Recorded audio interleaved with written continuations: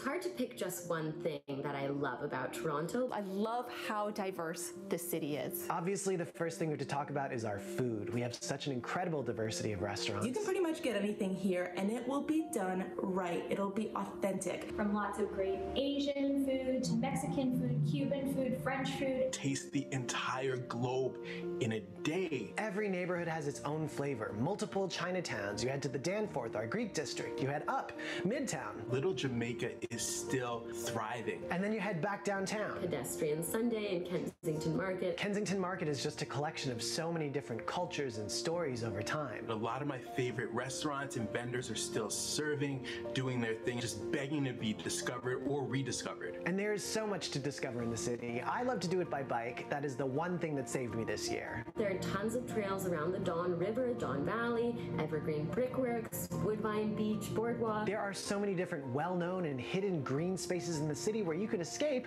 and forget that just a couple blocks away you're right back in the action. So everybody knows about visiting the Toronto Islands in the summer months, but most people don't realize that you can also visit in the winter. I'd say pack some snowshoes or cross-country skis if you've got them. You can't beat those amazing skyline views from the Toronto Islands. One thing I have not tried that I want to is stand up paddleboarding out of the Scarborough Bluffs. So I'm going to go on the board and take in the bluffs from a different perspective. I feel like I must be the last person in the entire city to try the edge walk. Way at the top of the CN Tower. I need to get up there, take the entire city in. I, I would never, I would never do the edge walk. You could not pay me. what do I miss most? People, gatherings. The city has such an amazing, frenetic, and buzzy energy to it. It's lively, it's vibrant, it's people running into each other that they haven't seen in a long time. Or being out and randomly making new friends. Did, did someone just say hi? Yep. so when the city fully reopens, the first thing I'm doing is taking my son to the aquarium and the Toronto Zoo. I am dying to go to a concert. You know, we just have such world-class talent here, and we also have world-class performers coming to visit us. Events and exhibits, whether it's uh, a festival, it's an art exhibit, it's a light installation. The Toronto Christmas Market, Pride, Caribana, the CNE. This city does festivals like no other, so I can't wait until they return in their full glory. Something that I discovered about Toronto over this past year is that we're tough much tougher than advertised. I've just been blown away by the creativity to make it work. They are putting their work and their love on a plate or on the rack or wherever they put it. Overnight, merchants have had to figure out how to sell their stuff online. Fine dining establishments are creating takeout menus and meal kits. You know, you look at the support local initiatives that have been going on. So many things that show that people weren't just concerned about themselves, but their neighbors. This support of small business and community is beautiful. And I think that's a true testament to the people who call Toronto home. We have made it this far, and I'm excited for what's to come.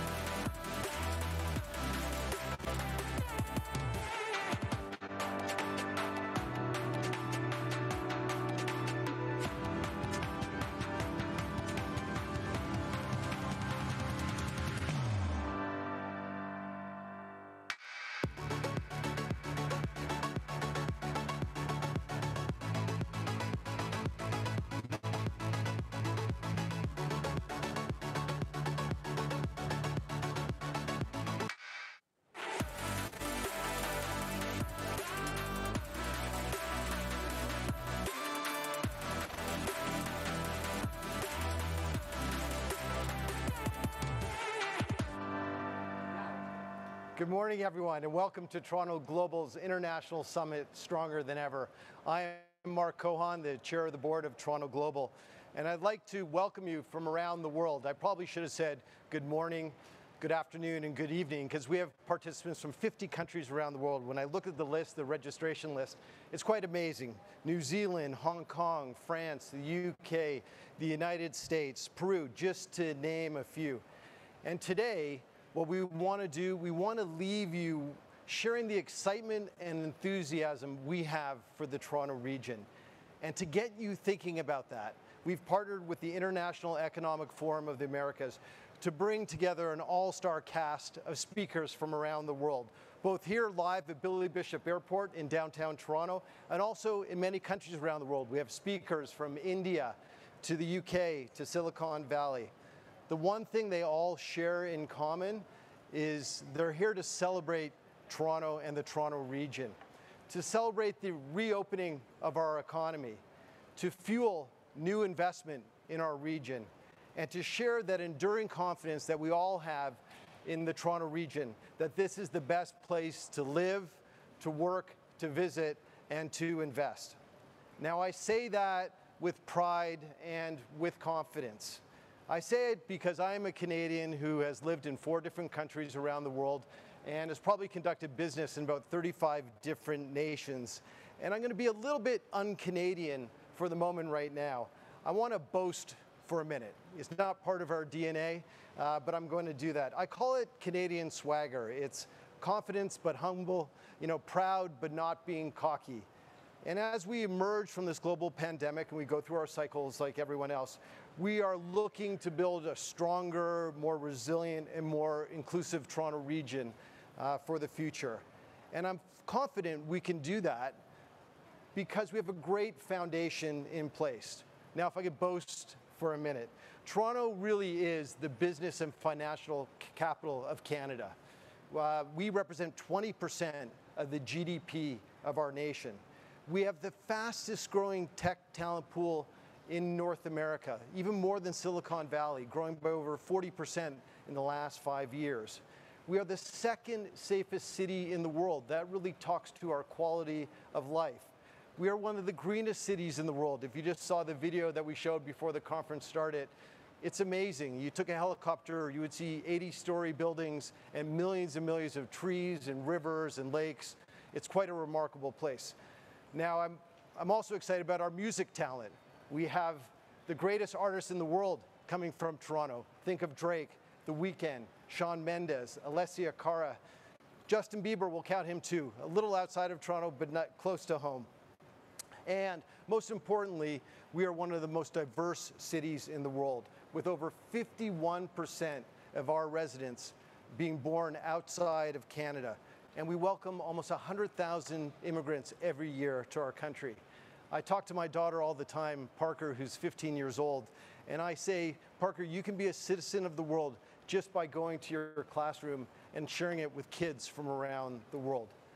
Now, for all of these reasons, this is why, even through the pandemic, this is why companies continue to invest in the Toronto region.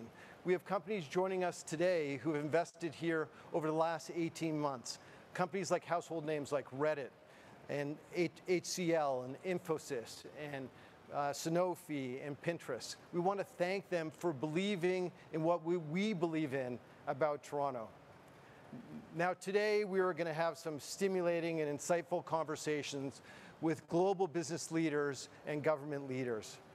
For those in the audience who are from the Toronto region, I want you to think about this, about these conversations today. I want you to be proud of the place we call home, where we live and work, and be confident in our collective future. And for the global audiences, for those 50 nations around the world that are tuning in today, this really is an open invitation to become here and be a part of this dynamic and growing business and cultural community that we call Toronto. We want to ensure that the Toronto region leads our country's recovery and cements its place as uh, the best place to invest in North America. And as we get ready to kick off this conference, we're thrilled to be hosting it here at our downtown airport, our second airport in the city, Billy Bishop Airport, which recently was ranked as, I think, one of the top 10 in the world in terms of amazing landings. You land over the water and you see the downtown core. It's quite remarkable and beautiful, beautiful. But it's a sign of our recovery and us opening up. We also want to thank our many sponsors who have made this possible today. Ports Toronto, Nieuport Aviation, the Globe and Mail, and Air, Canada. Thank you to all of them for supporting us today.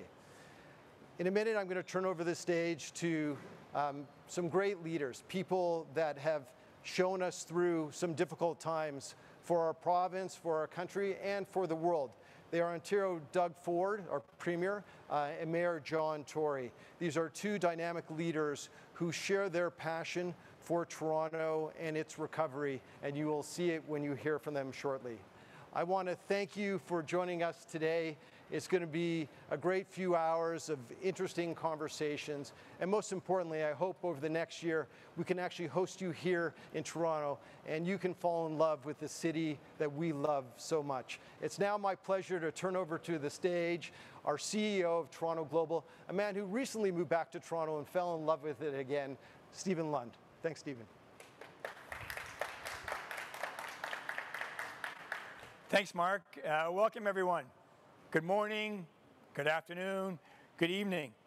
Again, as Mark said, my name is Stephen Lund. I'm the CEO of Toronto Global. We work with organizations across the GTA. We work with the federal government, the provincial government, the municipalities to help drive new business growth to this region. I must say it's great to be back at Billy Bishop Airport. Just to see the excitement and the energy, it's great to see us back. It's also great to put a tie on again. It's been quite a while. And a proper pair of pants. So welcome everybody. Great. We have a great lineup today of speakers, the Premier, the Mayor. We also have joining us by video uh, Mayor Crombie, Mayor Brown, and we have some world-leading executives from some terrific companies. So again, let's get started. First of all, look, I, these last uh, 18 months have been difficult. I know that um, on a lot of businesses and a lot of companies. But one thing I do know is we will get through this. We will come back stronger. We've got terrific leadership here at all levels of government, in our communities, and in our business community. So we're really looking forward to getting back on track. I also want to mention that when we started looking at putting a summit together, it started off uh, a conversation the mayor and I and Mark had a few months ago. We were hoping to get three or 400 people. I can proudly say that we're over 1,500 people representing 50 countries around the world. So thank you so much for joining us for this exciting time.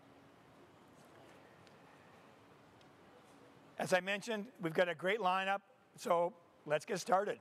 On video, we have Premier Doug Ford joining us, a dedicated community leader, leader, successful businessman, a passionate advocate for the people of our province. His commitment to public service expands over 20 years and he's been key in driving new investment and creating jobs in our province, and also leading us through these difficult times the last 18 months. So I'll turn it over to Premier Ford, and thank you for joining us. Well, good morning, everyone. It's a real pleasure and privilege to address the Toronto Global Summit.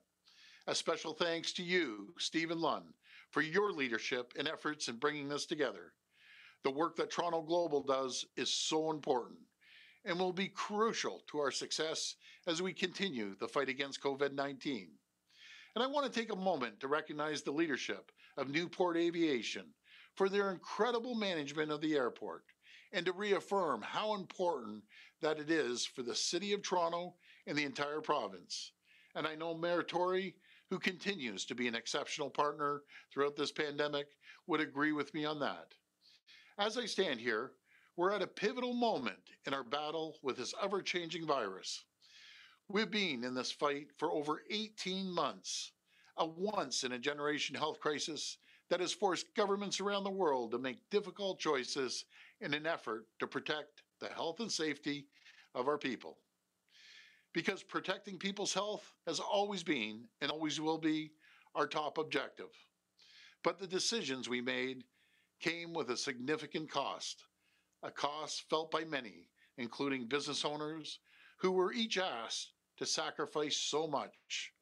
Throughout this pandemic, as new variants arrived, business owners constantly adapted to a changing environment, one that demanded they pivot their operations, but in true Ontario spirit, they responded. They did what was necessary to help protect all Ontarians. For that, we are forever grateful and we said that we'd always have their backs. That was a promise, and we are working every day to make sure we keep that promise.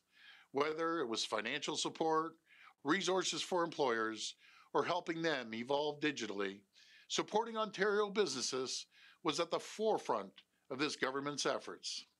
And now, having delivered a world leading vaccine rollout, what businesses of all sizes need is stability and certainty. So as we continue to live with this virus, we're able to find safe ways to move forward, confident in our ability to protect Ontarians. That is why Ontario will require proof of vaccination for certain settings, effective September 22nd. Along with the most cautious reopening in Canada, Ontario's vaccine certificate is another step to ensure we don't need to return to lockdowns and will give our business community the comfort to continue operating. But we must stay cautious. We must always be careful. We can't jeopardize the hard earned gains we've made. As I said earlier, we're at a pivotal time in our fight against this terrible, terrible virus. The choices we make now will have an immediate and lasting effect for Ontario.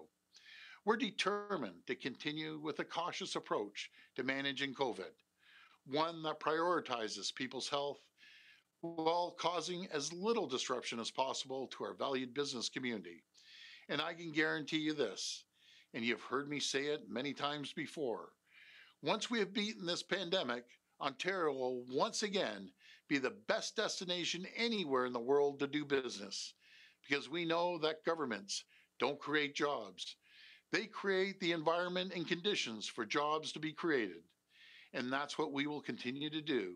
And I am 100% confident that the economy of this province and this city will take off like never before. And Toronto Global will be leading the charge. So thank you again for all the exceptional work you do. Stay safe and God bless. Thank you so much for joining us, Premier. And again, thank you for your tremendous leadership over these past 18 months. We're going to have a quick video and then we're going to ask the mayor to join us and say a few words.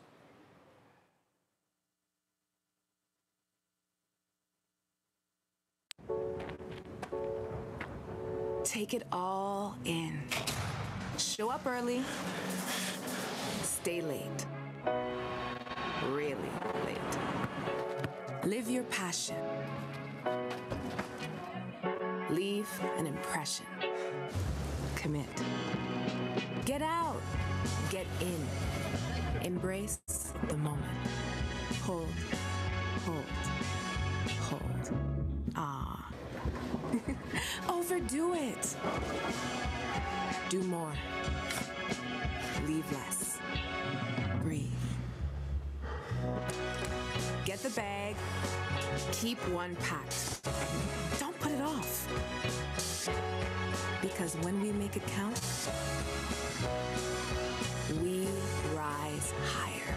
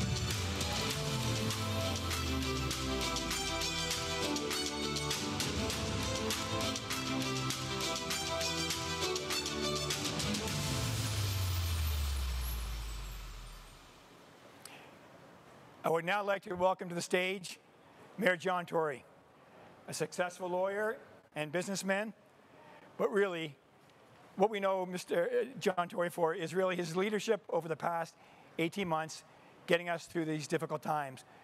But also, if you think about it, since 2014, the tremendous growth of our city. We're one of the most diverse cities in the world, one of the fastest growing, a hotbed for technology, arts, music, you name it. And it's all come under his watch. And we really appreciate what he's done for our city and for his leadership. So I'm going to ask the mayor to join us and say a few words. Well, Stephen, thank you. And I want to uh, begin by saying how pleased I am to be here at the Stronger Than Ever Summit. What a great title for uh, a city region that uh, continues to go from strength to strength and has come out of the pandemic or is coming out of the pandemic uh, in a way that I think represents opportunity for all the people that have uh, joined us today. And I'm so glad that you have joined us, people from around the world, uh, to hear a message of welcome, a message of, uh, of uh, determination on our part to be the best home that we could possibly be uh, for people from around the world to invest and create jobs. And I'm a proud spokesperson and promoter of the entire region. Uh, I'm one of those who believes that this is good for Canada to have a region the strength uh, of uh, Southern Ontario and of the Greater Toronto area. Uh, I'm also one who believes that the city that I have the privilege to lead, the City of Toronto, will be a beneficiary regardless of where in the region people choose to invest and to create jobs. And so uh, I'm out there uh, with my colleagues, some of whom you'll hear from today, promoting the region, but also, of course, promoting the city that, that I lead, the City of Toronto. And so um, it, it is one of those things where uh, it is it is uh, not as good as having 400 people in a room, as Stephen said, but we're just delighted, and it's more convenient for you not having to uh, travel as far as to come here. But we do hope that we can welcome you uh, going forward uh, in person. I am very proud to say that the Toronto region and the City of Toronto itself are, are global success stories, and I'm proud of that. Uh, it is something we've worked hard to achieve. People before me have worked very hard to create the foundations for success that are in place in Toronto today. And I believe that the foundations that have been put in place, including in particular uh, our welcoming of people from around the world to build up our population, 51% of whom, as was mentioned, are people who were born outside of the country. But this has been a blessing uh, for us. We've, we've got the most diverse city region in the world here, uh, and we're taking full advantage of all the smart people that have come our way from around the world and all that they've brought with them. Uh, we are working hard at City Hall to produce a strong recovery for the City of Toronto and, and with our partners in the region. Uh, the work that the Premier outlined that the province is doing, same thing. And we, uh, I completely endorse what he said about the need for us to be cautious in doing that, but we're being cautious and determined at one and the same time uh, to make sure that we can serve well those businesses who are already here, which we try very hard to do, but also to attract new businesses and new jobs uh, to this city region. That uh, will be made easier by the fact we have worked hard over the last number of months and we've worked in partnership with one another. I've had an excellent working relationship uh, before the pandemic, but also very importantly during the pandemic with Prime Minister Trudeau and with Premier Ford and their governments. Uh, and we have done everything we can to help people and businesses get through uh, what has been a most difficult time. We have made sure that uh, businesses, uh, while we looked after vulnerable people first and foremost, that businesses were not uh, left behind in that regard. And I think that it's helped a lot of them to have the support of their governments, plural, uh, in uh, getting through this very difficult period. The fight uh, against the pandemic and against COVID-19 is not over, but you know we are much closer to the end than we are to the beginning, and I think that is the same experience that I hope most of you are experiencing in different parts of the world. In our case, a lot of that is thanks to the residents who live in this region. I can speak in the case of the City of Toronto uh, to the fact that 78% of our population of millions have been fully vaccinated now. Uh, 83% uh, have had their first dose, and, and uh, there's, so there's a few that are on their way to the second dose, but that is a number that is respectable in any quarter of the world, and that is thanks to the efforts we've all made together, but including the people that have stepped forward as individuals to get vaccinated. This uh, has allowed us to begin the task of reopening and recovering and renewing, uh, and that is important to our entire country because this region, as was mentioned by Mark, uh, represents 20% of the entire national economy, one of the biggest economies in the world. And I want to say that Toronto Global has carried on with its work, and I'm so proud of, uh, of I've been involved with Toronto Global since its inception, and uh, under the leadership of Stephen as CEO and Mark as chair, uh, they're doing a great job to even put on something like this to remind people of the fact that we're here, uh, we're welcoming, we're embracing, we're supporting, um, and that uh, we've carried on doing that throughout uh, the entire pandemic. And today we find in the city region, uh, uh, of which Toronto is at the heart, that the restaurants are open. Our baseball team, the Toronto Blue Jays, are back. There are fans in the stands watching them. Our city halls uh, are open uh, to serve the public. Uh, students at all levels. I was just out celebrating the first day of school in the city of Toronto today for most of the primary and secondary uh, students. They're back. The university and college students are back uh, to in-class learning, and I think that was important as well for their well-being, but also for the effectiveness of what is a very excellent uh, public education system. And just right here yesterday at this incredible downtown airport where you do are as close as it looks. If you could look behind me and see uh, the buildings of the financial district, uh, they're right there. Uh, and you land uh, within minutes of those buildings at this airport. And uh, this airport opened itself up again for commercial business just yesterday. So this is all great progress, which is laying the groundwork for a great recovery. And that strong recovery includes you. We want it to include you, not just in the recovery, but well beyond what I know will be a strong and lasting recovery. And so we created this summit to tell you about Toronto's success, the success of this region, and our commitment to a robust economic recovery and a robust economic growth and investment going forward. We are incredibly focused on encouraging and securing more jobs, more business, and more tourism here in the entire Greater Toronto area. I'm determined as mayor to support this restart and continue my job, which I undertook uh, long before the pandemic began, promoting this region as a great place to invest, a great place to live, a great place uh, to do business. Even during the pandemic, global corporations like Netflix, like Reddit, like Twitter, like Infosys said yes uh, to investing uh, in the Toronto region. And many Toronto-based companies like Wattpad and Wealthsimple and The Score recommitted themselves to making bigger investments here, staying here, creating more jobs here. And so it must mean beyond looking after and supporting and, and uh, you know, I'll call it selling people on being here that we're doing something right that those people all, would all want to be here. We know that the Greater Toronto tech system, for example, experienced its best quarter ever in the first quarter of 21, 2021 of all times to have the best quarter ever in terms of money raising. A billion point one five, $1.15 billion was raised to support that tech ecosystem during that quarter of 2021 as we just began to emerge from a, a terrible pandemic, the largest quarter ever in terms of investment dollars and the number of deals that those represented here are key facts that I want you to take away from today. And as Mark said, uh, we're not big on sort of boasting and bragging, but we just want you to know some of the facts that are important for you as business people when you make decisions. You want to rely on facts. You want to, want to rely on our attitude, uh, but you want to rely more than anything else on facts. First, you've heard it before, but once again, the Toronto region is one of the fastest growing and largest metropolitan regions in all of North America. Toronto itself, the city of Toronto itself, is the fourth biggest city in North America. By 2041, the region is projected to grow to nearly 10 million people from 7 million today. So even today, it is a very big metropolitan region in North American terms. Secondly, from 2013 to 2019, 80,000 tech jobs were created in the Toronto Waterloo corridor alone, more than in San Francisco, Seattle, and Washington, D.C. combined. And we're committed to continuing that job growth in the wake of the pandemic. In fact, it has continued alongside that incredible investment that I made reference to a moment ago. The tech ecosystem is driven by a talent pool that is as big as it is diverse, and that pool is continuously being fed by 18 excellent colleges and universities in this region alone, and by a very welcoming approach to immigration.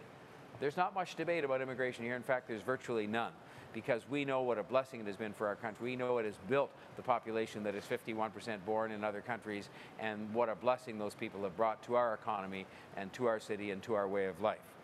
Thirdly, we are Canada's economic engine. As I said earlier, the Toronto region's economy represents 20% of Canada's entire GDP. Fully one-fifth of one of the world's largest economies is centered right here. Fourth, the Toronto region's prime location provides businesses with excellent North American and international market access, including a market of 130 million people within a 500-mile radius. And that includes fantastic transportation, including this very airport downtown in the heart of Toronto. Fifthly, as the business and financial capital of Canada, the Toronto region is home to 40% of Canada's business headquarters across every sector you could name. We are, in our own right, a respected global financial capital and, and, and a respected capital for many other industries. Sixth, Toronto ranks as the urban center with the most cranes in all of North America. And that really, I guess, is meant to tell you that there is confidence in the city going forward. 208 construction cranes working on various large-scale developments right at this moment in time, representing almost one-third of all of the construction cranes in cities across North America.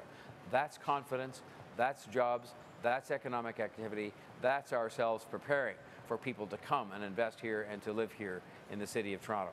Our economy was extremely strong before the pandemic, and that success will continue because we have everything here in the Toronto region to fuel that success.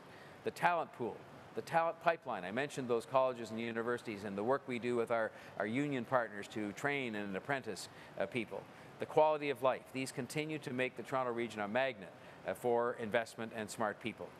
Most importantly, we are a place that everyone can call home. Toronto is the most diverse major city in the world.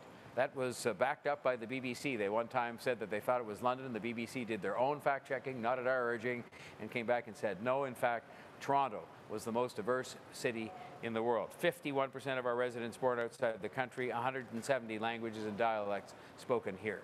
But it's more than just what languages are spoken or how many nationalities are represented. We embrace people from all over the world. We gain from them. We learn from them. We celebrate the fact that we're different in some respects in our background, and we make that work for not just the benefit of ourselves as people, but for the businesses uh, that are here. We're proud of that diversity, and we're committed to embracing every single person without exception who lives in our city region. More than 100,000 immigrants find their way to the Toronto region as their new home. They choose to come here every single year, 100,000 people every year. So I hope that I have conveyed to you uh, why the Toronto region is the right place to invest and the right place to grow your business. I am very optimistic. I've been saying this since the darkest days of the pandemic. Why have I been optimistic throughout that time? And to add to the Premier's words, he used the words stability and certainty, and those are very important to me as the Mayor as well, but I would also add optimism and hope and vigilance. Vigilance against the pandemic and vigilance against things that would disrupt uh, this way of life, this, this calm uh, way in which we want to welcome businesses and innovation here. But I have remained optimistic because all of the fundamentals that led to the growth of the city region are still here. The talent is still here the industrial uh, concentrations in various industries are still here. Uh, the, in, the talent pipeline is still here, providing excellent graduates from our colleges and universities. And Toronto Global is still here. Uh, to make sure that we can do everything we can to have you understand what a great place this is to invest and do business and to support you uh, once you get here. We know that the best way that we can help our residents recover from the pandemic, the best way we can help Canada to recover from this pandemic is to make sure that we are strong economically. And that means that we have to help our businesses, help them to come here, help them when they get here to have a stable, solid footing, help them to grow, because that will create the wealth that will in turn make sure that we can support our population with the excellent programs, including healthcare and education, that we pride ourselves on. We want you to help us to be stronger in this country and to help be stronger uh, in, in this city region. And that can come from your making the choice uh, to come here, to expand here, uh, to join many people who have already chosen to make Toronto their home. And we are trying to keep that success story going, which I'm sure we'll be able to do so that we can stand here and give meaning to those words uh, that are behind me and that are really uh, overseeing this entire, uh, this entire gathering today stronger than ever. So thank you very much for your attention and I will look forward to welcoming you in person as you come uh, to visit us as circumstances permit. Thank you very much.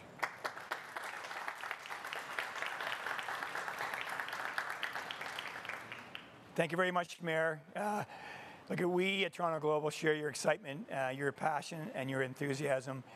We're really excited about the future. Um, as Mark mentioned, I moved back to this city a year ago in the middle of a pandemic, and I've thoroughly enjoyed working with my team, working with the mayor, premier, the other mayors, uh, all of our partners. We think this is going to region is going to take off again and be stronger than ever, and we're really excited to be part of it.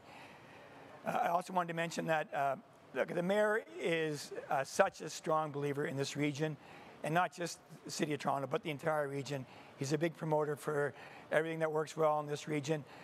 He's also an amazing person to have in a client meeting. Um, we bring him in as our closer.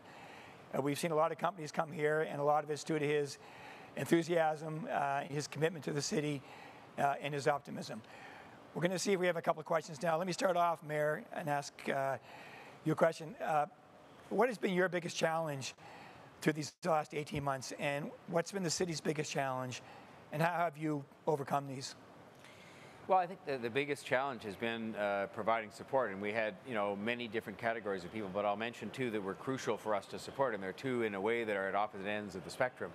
Um, we had to continue to support business. I mean, had we not had the programs, and I give full marks to the other governments for helping to lead the charge on financing programs that provided supports to business, rent relief, uh, wage subsidies, and so on a lot of those businesses just wouldn't have made it through what has been a much longer period of time in the recession than we, uh, than the, um, during the pandemic than we had thought. Um, and so I think that was a big challenge and to make sure we got things right. And we had other kinds of programs beyond just support that said, okay, let's digitize businesses. We, we had a program called Digital Main Street that the City of Toronto uh, initiated, and it went nationwide eventually, that, that brought thousands, literally thousands of businesses online during the pandemic, but they had no online presence before, couldn't sell to anybody because they were closed. Uh, the second challenge was protecting vulnerable people. And this is part of the Canadian values, is part of the Canadian way of life that says that it was our first obligation as a city, region, as a city, to support our most vulnerable residents, those who were elderly, those who were infirm in some way, those who were poor. Uh, and they suffered disproportionately from the pandemic. And I think we did a, a world-leading job in, in, look, in looking after them and finding new ways to do that. And then finally, the challenge of vaccination. I mean, this is the biggest vaccination campaign. I'm sure it's true in all the cities that you live in, but this was the biggest vaccination campaign ever conducted in the history of this city. And while we're not done yet, uh, we have vaccinated millions of people to get to that 77% level, um, and that is something that has been done in a very short period of time, thanks to the blessing of the vaccines, and it, we're going to get the rest of the way there to 90% or even higher if we can in order to make sure people can stay safe and healthy. So those were the biggest challenges, I think, Stephen, and there were many more, but those were three of the big ones. Thank you so much, Mayor. Uh, Mayor, Toronto's a great city. It's known for so many things culture, food, entertainment, sports.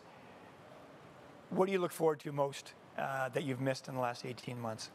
I think it's the it's the arts and culture and just being able to be with other people. You know, the arts and culture are very special here in Toronto. They are part of the soul of the city. You heard Mark talk about music. He could just as easily have talked about film, uh, about uh, dance, about a whole host of things, visual, the visual arts.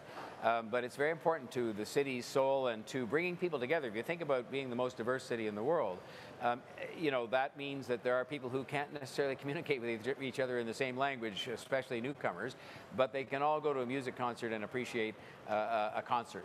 And so I think uh, music and the arts because they bring people together, but also because they uh, will uplift us, and they have during the uh, pandemic. And so I look forward most to being able to just go with other people.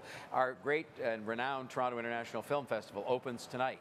Uh, and it's going to be a scaled back version with fewer in-person screenings just because of the continuing uh, need for public health measures. But I think it just marks a turning point, as did the reopening of this airport yesterday, where people can come together, can travel, can enjoy a film together, even on restricted, uh, under restricted conditions. Uh, and I think that's something that, uh, for me, is going to be most welcome. The, just even the opportunity to go see a movie, which we haven't done, and to see uh, friends and family together. So I think that's going to be one of many things that will get better and better as the days go forward and as we uh, emerge stronger than ever. Great, Mayor. Thank you so much. We're going to turn it over now to Taylor Jancy from Global Public Affairs and see if we have any questions from the media or our audience. Taylor. Thank you. Thank you. We have some questions from our delegates. So the first question is Toronto real estate is heating up on both commercial and the residential side, which has an impact on businesses wanting to open up shop and grow here. What is your plan to control that bubble and make real estate transactions more accessible? Well, first, I should tell you that, uh, thank you for the question. I should first tell you that uh, everybody who looks at the Toronto real estate situation uh, says that while the increase in values, which has a good news part to it as well, but the increase in values has been driven by fundamentals and not by artificial kinds of circumstances. Um, there are lots of people who want to come here. There are lots of people who want to invest here, and the law of supply and demand, which you all understand very well, um, has caused uh, prices to rise. I should point out that um, by many measures, in terms of global cities, uh, we are still a city that can present uh, a good uh, a good bargain for you, uh, both residentially and uh, commercially. And I would say that what is going to help us is that very same law of supply and demand. I am pleased at the fact that there continue to be people coming to my office on a regular basis who want to build office buildings and commercial buildings here. And there continue to be the 208 cranes are evidence of something. That's evidence of people who have made the decision to try to keep up with that growth that is going on here by building more residences and more office buildings and other kinds of business uh, premises uh, for people to have. And so I would just say that uh, we are going to try to contribute to that by making sure that we approve uh, those projects carefully, but at the same time on as expeditious a basis as we can. I've worked very hard to keep the finances of the city in good order. We recently just had our credit rating reaffirmed with a commentary from uh, the rating agency Moody's that said that the city was well managed financially with uh, debt uh, ratios that were healthy and, and consistent. Um, and I'm trying to keep taxes uh, down, uh, as I've committed to do throughout the time that I've been mayor. And so those are all things that we're going to do, but I think that can create the kind of environment the Premier talked about where people want to build here. They want to build here, and it's going to be the law of supply and demand, including a big push on affordable housing, which we're making together with the other governments, uh, that is going to uh, answer the question of how do we make sure that there can be room in the city for people from all walks of life uh, and all the different levels and, and groups of employees that will work for people who choose to invest here. So I'm confident we can be up to that job, as well as building the transit needed to get them around, which we're doing in an unprecedented scale at this moment in time. Thank you. We have uh, one more question. You spoke about the growth of tech business and roles prior to 2019 and that the goal is for this to continue. What would you say are the other top industry verticals that you feel are ready to explode in Toronto in the next two years? Well, we rely for continued strength uh, on uh, sectors like uh, fin- finance, uh, the financial services sector, health sciences, uh, like food processing. I mean, we are, again, globally a highly respected, highly uh, competent, and, and big participant in food processing. And so we'll continue to work at those as well as to, to grow the tech sector. Even something like film, you may say, well, you know, where does film fit in? Film fits into the extent of 35,000 jobs and $2 billion plus of production annually in this city. And so, you know, that is something where, why is it doing so well here? Because our costs are reasonable and because we have an incredibly diverse talent pool. And I'm confident with the kinds of pools of expertise in things like AI and machine learning, um, food processing, where we have the expertise that's been brought from all over the world. And they say now sometimes we produce food that is enjoyed in other countries better than they do it at home. And we not only consume that here and all do it together and learn about each other in the process, but we also export now uh, food uh, to countries. And I could go on with, with all those things. Huge investments recently in the sort of pharmaceutical uh, health sciences area. So um, these are all areas where we're going to continue to work at having a talent pipeline that's full of smart people. At the end of the day, there's lots of reasons I mentioned, location, critical mass of other industries, and so on. But the, I think the fundamental driver that is here, that will continue to be here, that will start coming here again from other countries, and that we're producing domestically is smart, talented people who want to work.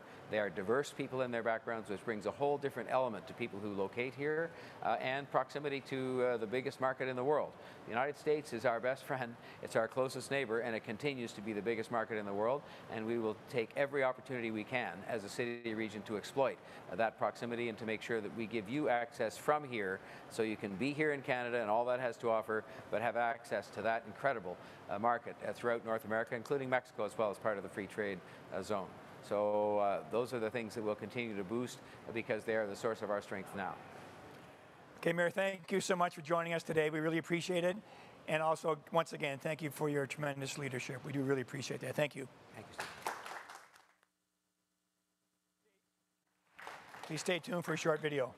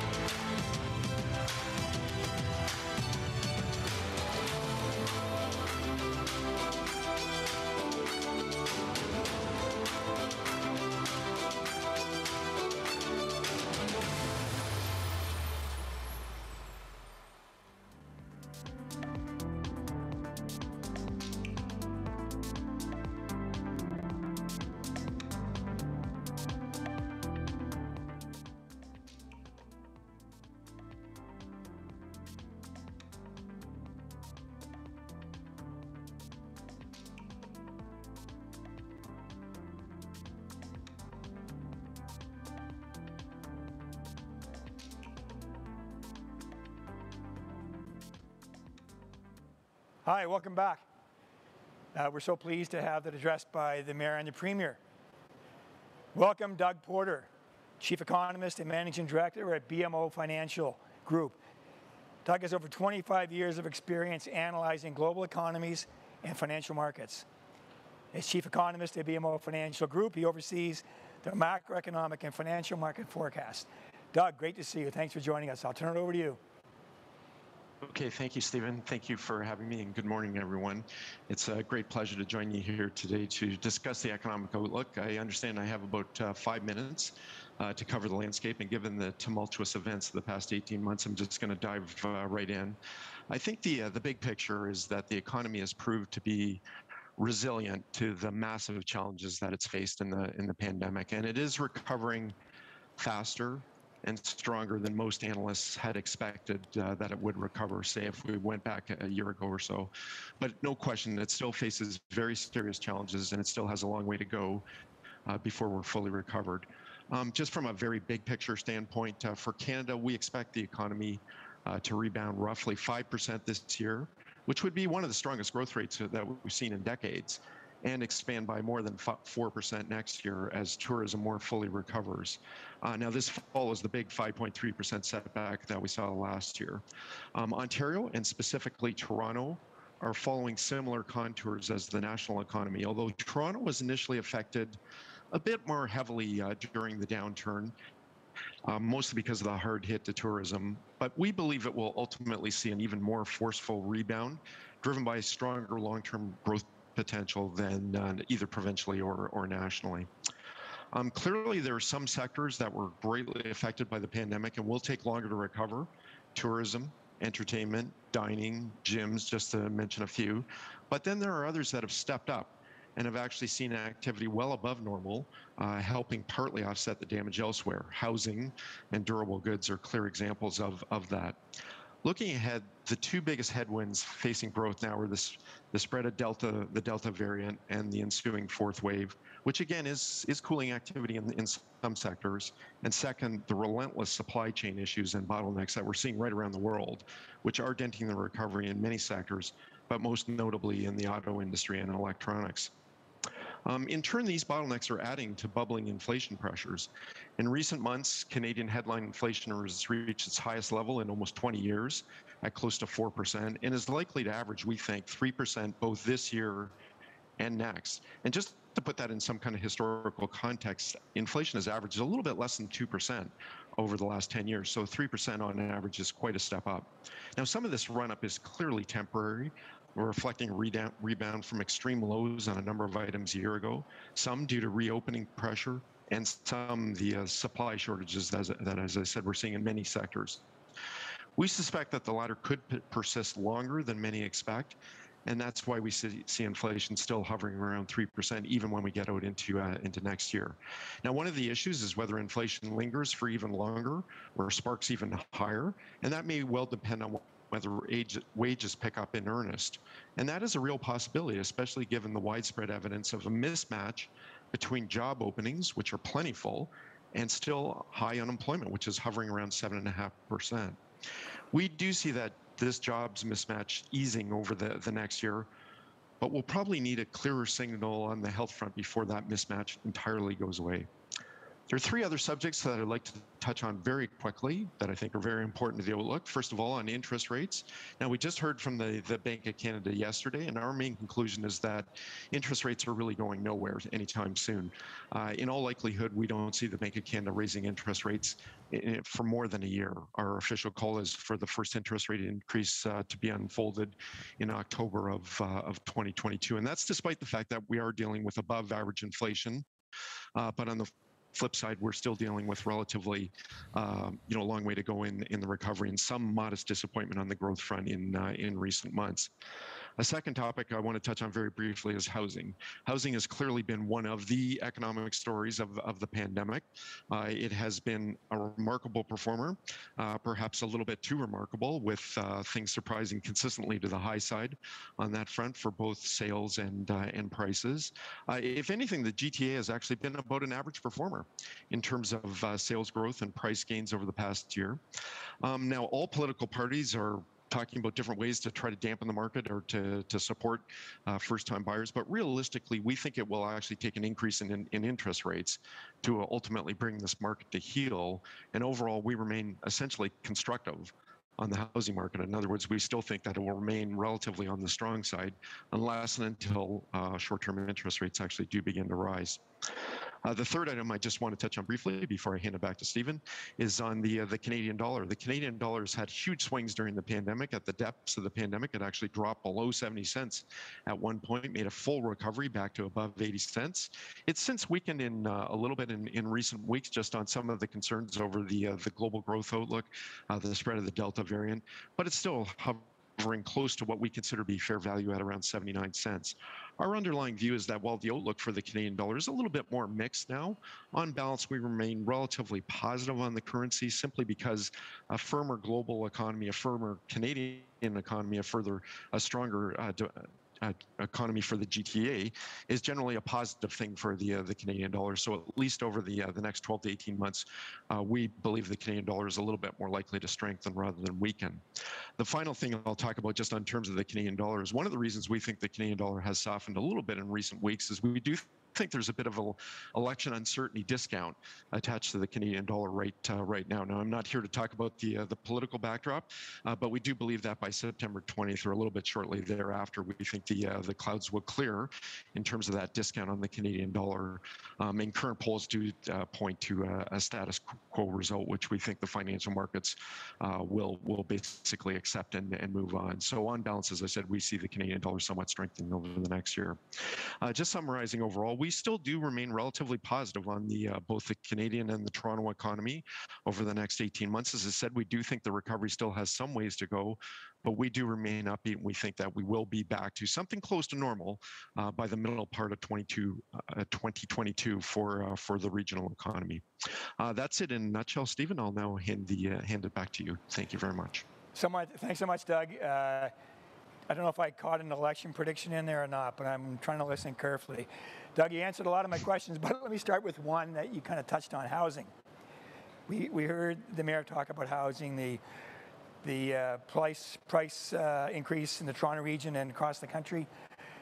Correspondingly, what we see is an increase in, in uh, mortgage debt. Is that an issue, or are we okay now for the next number of years with interest rates where they are? Or is, is that a concern or not to the economy?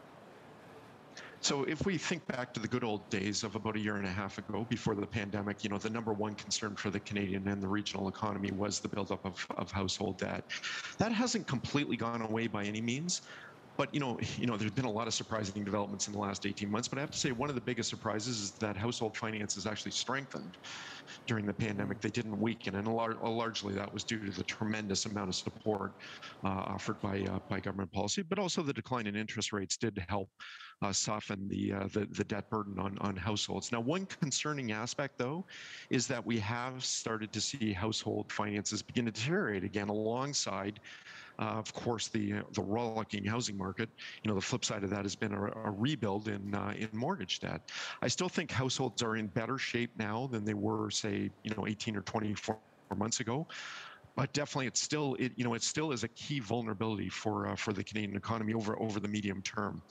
Um, the outlook is for interest rates remain very low for a long period of time, so we do have some uh, runway here for for a period of time. But I, I do regard it as as one of the more serious challenges for uh, for the medium term outlook for the Canadian economy.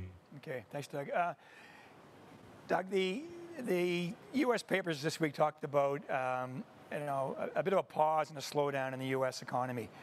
They projected 235,000, sorry, they, they projected 720,000 new jobs this past uh, month. They ended up at 235,000.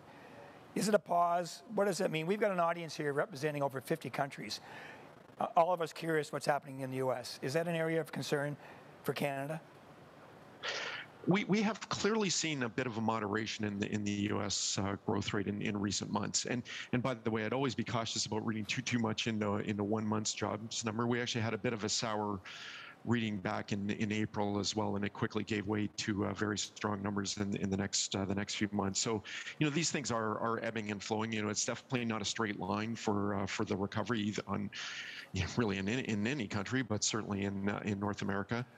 So I wouldn't I wouldn't hang my hat too heavily on, on one month, uh, but it is it is true that we are starting to see forecasts being whittled down a little bit. Some of that is due to the spread of the Delta variant. Some of it is due to the supply challenges, the supply chain issues I, I talked about. You know, I think an underplayed element uh, in recent months has just been how hard the auto industry has been hit, both in terms of sales and, and production. Now, to me, a lot of that is just pent up demand. That's just deferred activity that's going to come roaring back when the supply chain issues do eventually relax.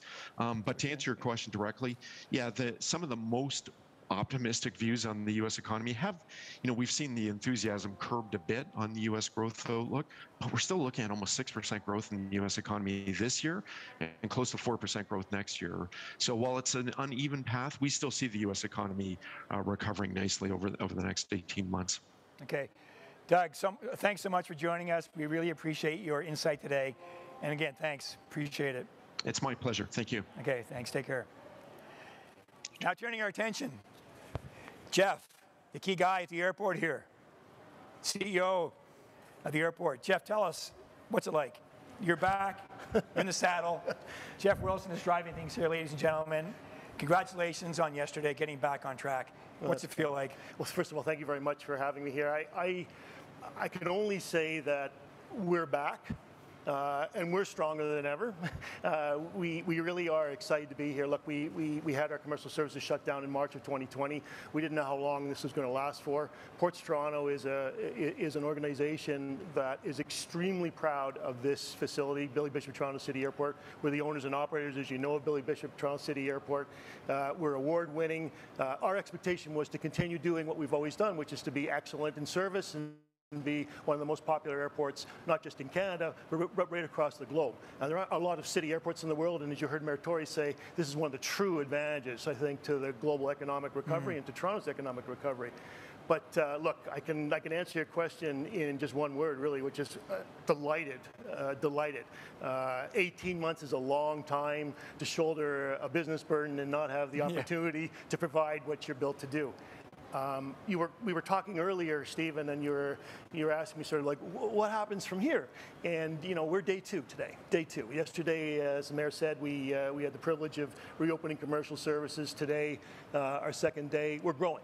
And so I guess the way to answer a question like that, what comes next is recovery first and foremost, our role of recovery within the Toronto economy, and our role in that is to bring passengers to Toronto and allow passengers to travel back and forth. I think friends and family are going to lead that. That's what we're seeing today. Air Canada and Porter are flying new flights, so we're just delighted about that.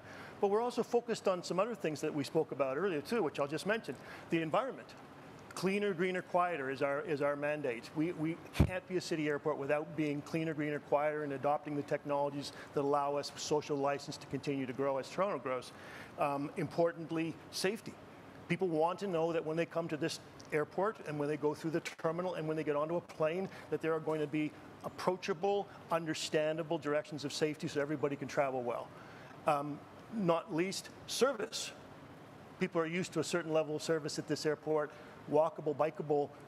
Mayor just, just sort of said the, the business center is just over my shoulder here. Well, it is. You can walk you can walk to your appointment in mm. downtown. So there's one great reason to come and use Billy Bishop Airport, of course, as a business person is it's pure convenience factor uh, uh, of getting there, right? So, so these are things that you know we have front and center of us is to just do more of what mm. we were doing before, and is to get to this recovery as quickly as we can. Mm. Jeff, it's, it's, it's so fantastic to have this airport here for, for all of us, really. And you've done a great job here. Congratulations. It's, it's wonderful to get back on track. Let me ask you a question about the future of travel. Uh, how's it going to change in your mind? Passenger travel, airports, airlines, what's it going to look like, do you think? Well, pe people want to travel. People want to experience the world. People want to experience other people. We've all lived through Zoom calls for many, many, many months. We now know the difference between sitting together. Mm. This is my second day in sitting with a group of people more than my family. this, this is an absolutely extraordinary feeling for me. I'm Good for your family too, probably, is it? Yeah. so, so, so travel is going to continue to grow. Travel will recover. It will start with friends and family. Business will will follow. Uh, it is already. So the future of aviation is very much what we just came from, but more importantly, I, I mentioned cleaner, greener, quieter, mm. which is really the mantra for, for Port Toronto when we think about our assets. And when we, we think about Billy Bishop Airport, we think about making this environmentally quieter, making it less dirty in terms of noxious emissions from fuels that are being burned. We're converting our ferry that you take to get across 404 feet uh, to get to Billy It's a long ride, We're, we're converting that ferry to all lithium ion uh, electric, and, and it's going to be the first in Canada and, and one of only a handful in the world like Great. this. So it is about the environment, it is about uh, the ongoing considerations of high levels of service, but absolutely it is about facilitating people to get to where they want to go in a way that they really truly want to. Great. Jeff, thanks for joining us. Congratulations. Uh, all the best. Looking forward to it. Uh, quick break, quick video. Uh, stay tuned, and uh, we get some exciting stuff coming up.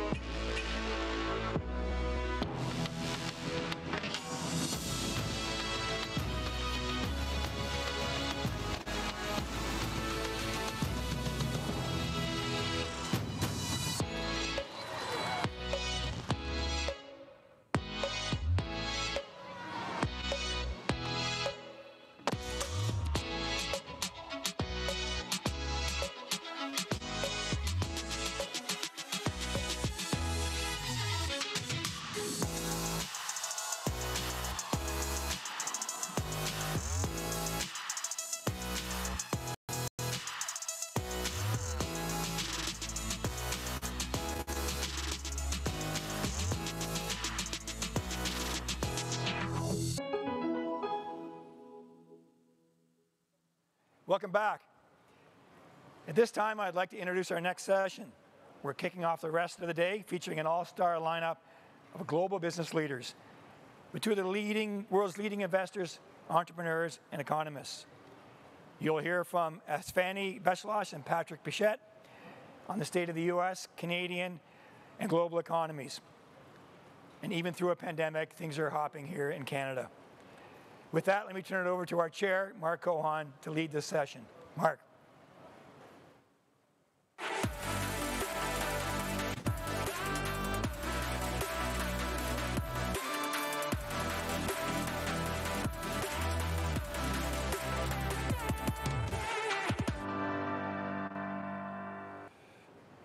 Great. Thank you, Stephen. It's great to be back uh, here.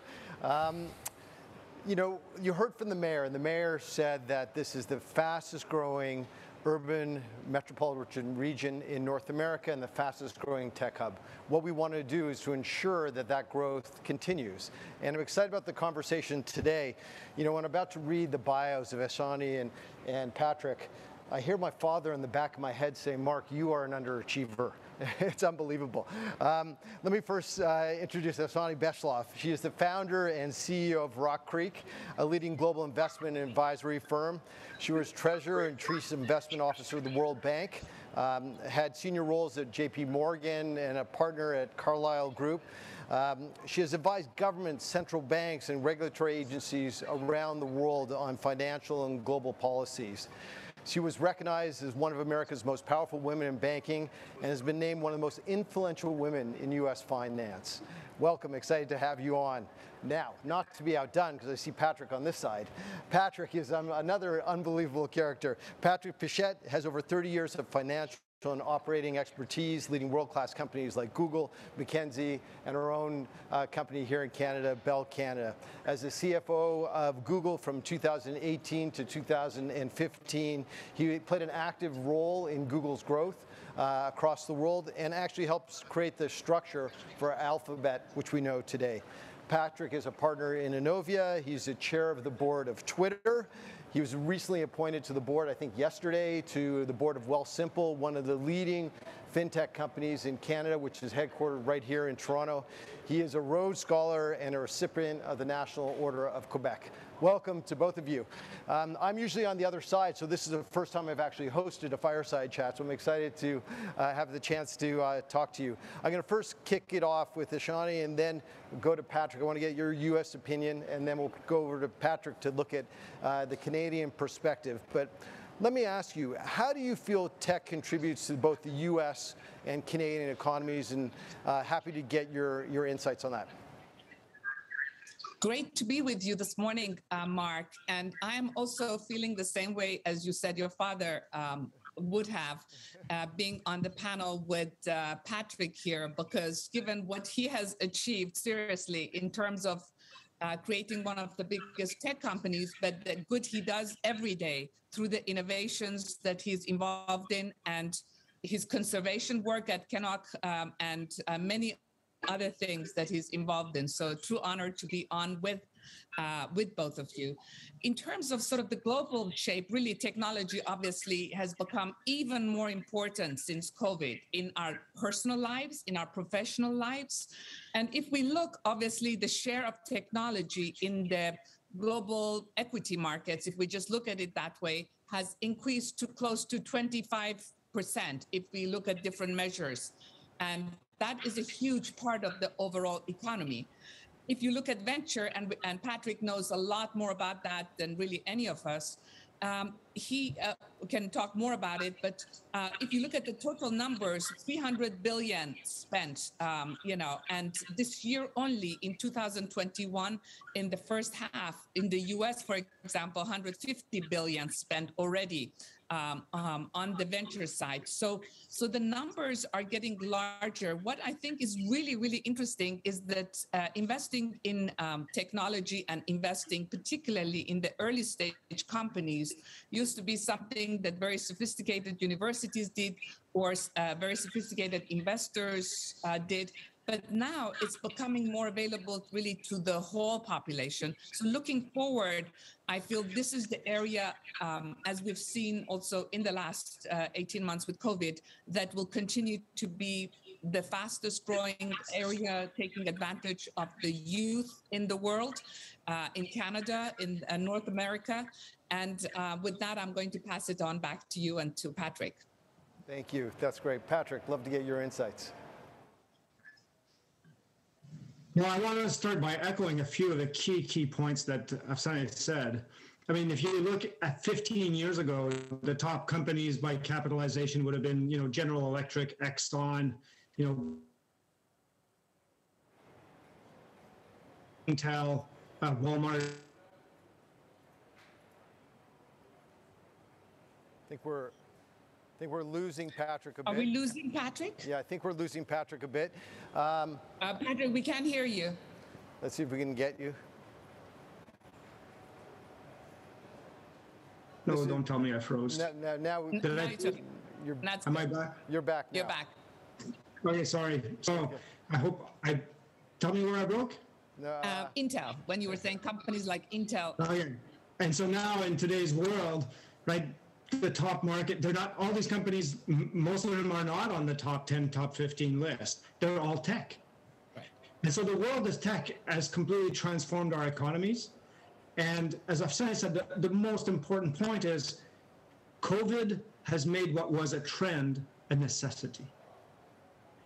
And every aspect of the economy now has to go digital at a breakthrough pace. And that's what we see in the economy, both in Canada in the US, but also globally. And I think that that's what's amazing is that's why such an influx of capital in such a short period of time. For us, it's absolutely extraordinary to see. And that feels, we talk only about the big companies, but under the top of these icebergs are just this massive ecosystem that's rising. Right. And so clearly tech is at the heart of what our economies will be for the coming years and decades those are those are great insights from both of you. Do you feel that we can rely on tech to fuel the economy moving forward, or do we have to have a diversification strategy? I'll turn it over to Afsaneh. Uh, I can jump in. Um, you know, what is I think interesting about tech, and Patrick can talk much more intelligently about this than I can, but it's in and of itself, obviously, it's very important. But if we look at again, uh, since COVID, tech has entered the world of education, tech has entered the world of health, tech has entered the world of uh, property and real estate and uh, and um, climate area. So so it is not just uh, you know looking at it as a separate thing, but it's as you uh, talked earlier this morning, the number of jobs that have got created just in Toronto, right? just in Toronto, you've had huge amount of job creation in the tech sector. Uh, the same thing uh, we are seeing in the US, whether it is Austin, whether it is Miami, whether it's Chattanooga which has provided um, uh, basically uh, almost free internet to its population and created the digital hub. So it's not just San Francisco, it's not just Palo Alto. Um, you're seeing all these cities that are creating new jobs and getting involved in new parts of tech. And when we talk about climate change, and again, Patrick is a leader not just at Inovia with the new ventures that he's doing every day, but also in conservation and climate change, you can see how much of the new tech, new um, climate uh, investments are very highly intertwined with technology. Pat, thank you. Uh, yeah, again, from my side, Go ahead. Just, just to, to add to it, and I think the key point that Afsaneh said is people think of tech as okay, it's a corner of the economy, but in fact, it's not anymore. It's a horizontal play across every industries. If you think of material science, if you think of uh, you know even natural resources, if you think of logistics, if you think of manufacturing, tech is everywhere. Life sciences, right, and and and into financial services services. So it's not, okay, there's tech and then there's the rest of the economy. It's a real horizontal play that's really transforming all the aspects of all of these industries. And that's what's so cool about it. Yeah, I think you're absolutely right. Every, almost every company needs to be a tech company. The other day, I was talking to a peer of mine uh, who runs one of the largest uh, uh, uh, spirits company in the world, and they're doing a test, an AI technology test, to track social media, to so that their so that their sales rep know what people are saying about specific bars and what they're drinking. So it's amazing what every company needs to do to really think about how they're utilizing tech. Um, how do you think governments should support the tech sector uh, and tech talent? Uh, and what role do you think government should actually play uh, in propping up the ecosystem or supporting the ecosystem? Afsaneh, I'll go to you first and then over to Patrick. So, you know, government can uh, play a very positive role in the sense of, uh, again, like what we're just talking about, whether it is at the local level, like Chattanooga, I mentioned, you know, where the mayor has been, so, or successive series of mayors have, have uh, made tech available and internet available, whether it is to school kids or to hospitals or to high tech industry. Um, so, you know, if you look at uh, that is one way that uh, politicians can get involved in. Obviously, creating a vibrant um, set of regulations is also important. There is in the in the U.S., uh, of course, right now there is a lot of uh, conversation about how tech should have some level of uh, regulation because it's become so powerful. Again, I don't know, Patrick, what your thoughts are on that. I think that, that Canada and the US are in somewhat of a different position.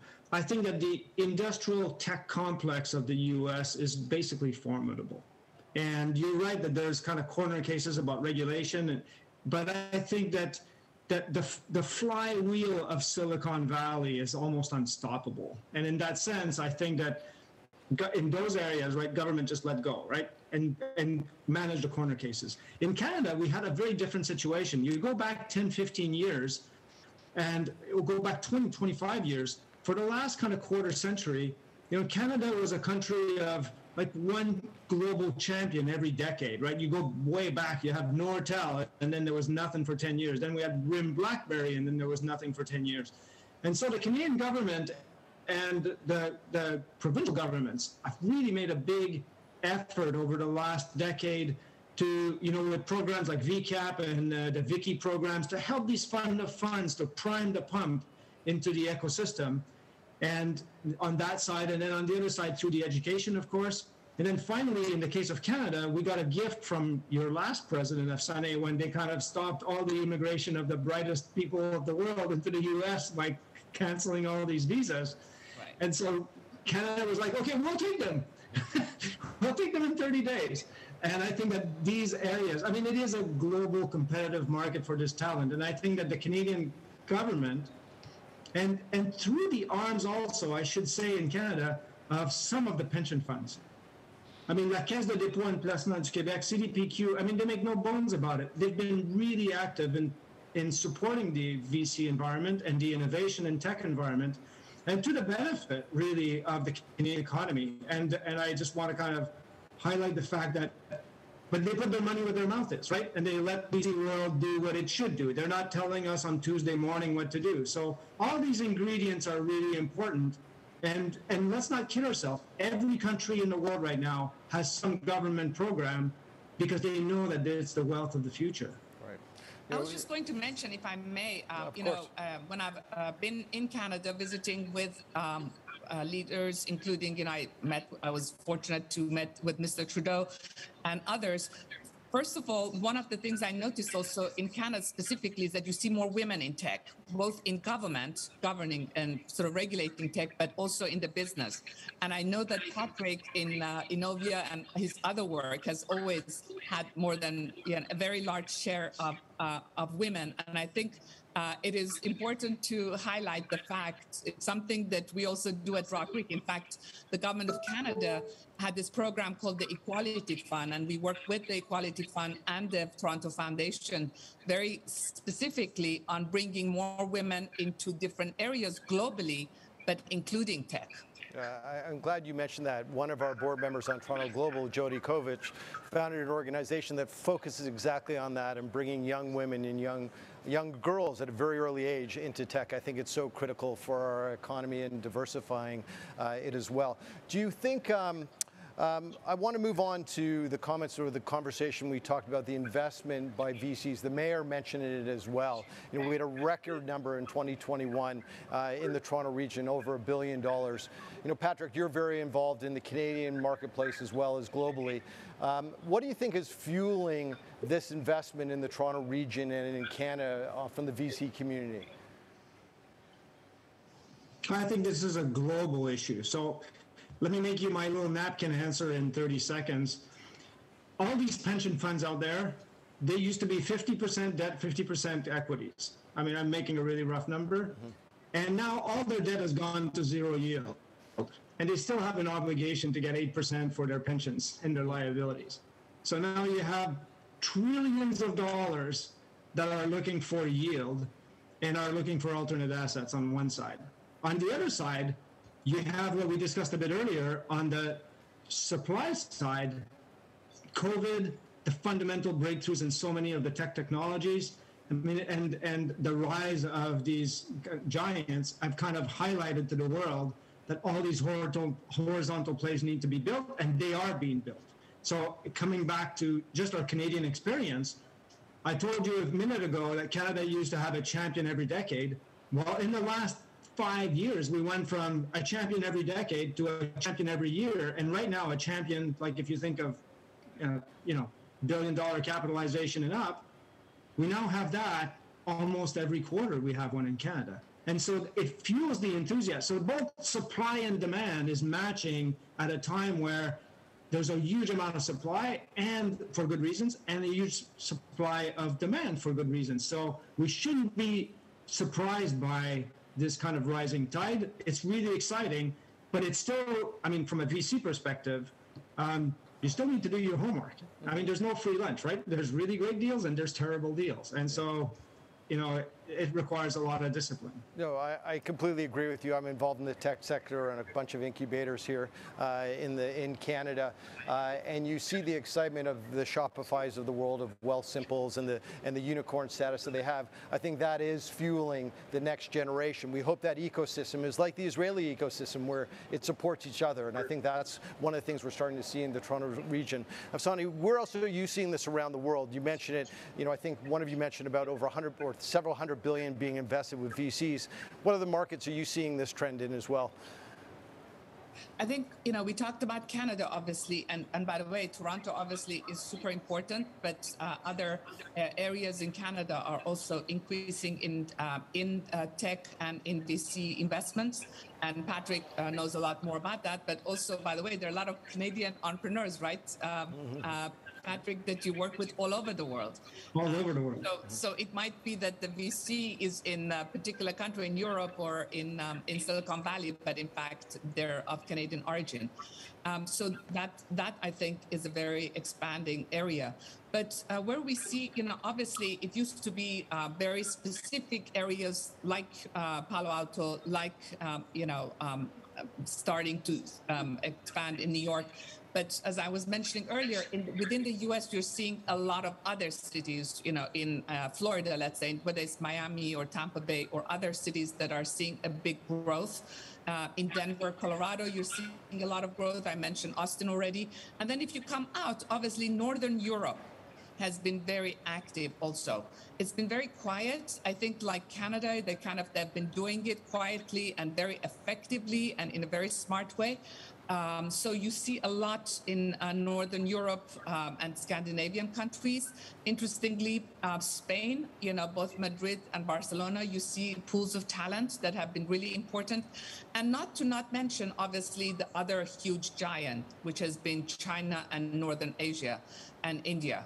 Um, so, so there you see um, a huge amount of growth. Uh, and I think the big question will be whether you see a bifurcation where, uh, particularly in North Asia, China, you know, VC and technology gets more locally invested, while North America also becomes more uh, local versus, you know, investing in China. Uh, and I think for me, uh, looking globally, that is the big question for the next few years as to whether you have two worlds uh, or or these two worlds, you know, go back to the way they work together. Um, if you ask me today, I would assume that there will be more bifurcation. Well, you know, I was being very Canadian, I think, in that question, allowing you to talk about other places beyond just promoting Toronto, which is which what we're doing. But that great insights, and I love, Patrick, your comment uh, before about you know the United States. We really have benefited from the previous president. You know, the fact that we have homegrown talent being the most educated, uh, you know, region of, of any OECD country in the world um, is quite amazing. And the whole homegrown talent, and then the ability to rapidly bring people into the country, I think, is what is fueling this. As we think about these young entrepreneurs and and uh, these young tech leaders and founders in this new economy, in this new world, and I'll start with you, Patrick. Um, how do you think they can scale? Do you think uh, it changes the way they can scale? Do, do, they have to think differently about growing their businesses in the new world that we're in now? The short answer is yes. And because of this acceleration of, of the tech ecosystem, uh, founders, and especially in the scaling portion, it's accelerated.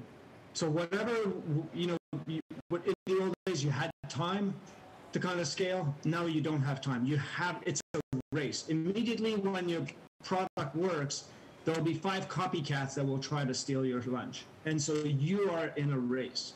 And so that means the implication for founders is you got to get a great board because with a great board, you can get access to all their networks, all their wisdom, make genuinely new mistakes, not yesterday's mistakes because they've done them all. So get a great board.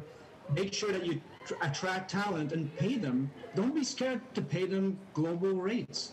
Like I think in Canada, we're often kind of like, wow, I don't know, and just pay them market wages and just get A players hire A players and B players hire C players. Just get the A players and you'll get 90% of your gang right there. And then finally, I think that it's important that you make sure that your business is one where your your technology stack that you built it can scale too often we say, okay, we'll do V1 and then we'll figure it out. But if it can't scale, you'll hit a wall super fast. So make, make sure you have the infrastructure. And today with cloud, you have no excuse not to do that. Right. So if you do these three things, I think that you have a real shot at it.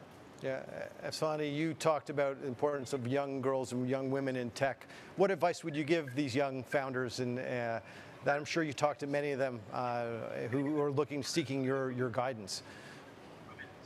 Um, I think the first advice would be try to work for Patrick uh, if you can, uh, if you can't, because seriously, I think um, it's really important whether you're working for another, you know, whether you're working with teams of other women or other men or you know, um, really any other group, uh, to have people who are going to, um, you know, be supportive, as it were. Uh, continue to train. I think you know we all are in a world where we need to learn every day girls and boys and men and women, uh, younger and older. And I think, um, you know, it's not enough to just get your degree and jump in. And I think a lot of women, by the way, globally, but you see a lot of women in Canada, in fact, going into areas like STEM. Um, but it will be an ongoing education, so don't think of it as one thing. And I think what Patrick said, I think having this mentor, you know, whether it is in your board, if you can get them in your board, if you can't get them in your board, having mentors, just continue to add to your mentors as you go along. That will be like the biggest investment, best investment you can make. That's great. Um, oh, Sunny, if I may just allow me just to chip in on one last thing on that women issue, and it's really about diversity. I think that as Canadians, certainly I'll speak for Toronto, I'll speak for Canada. We have no excuse.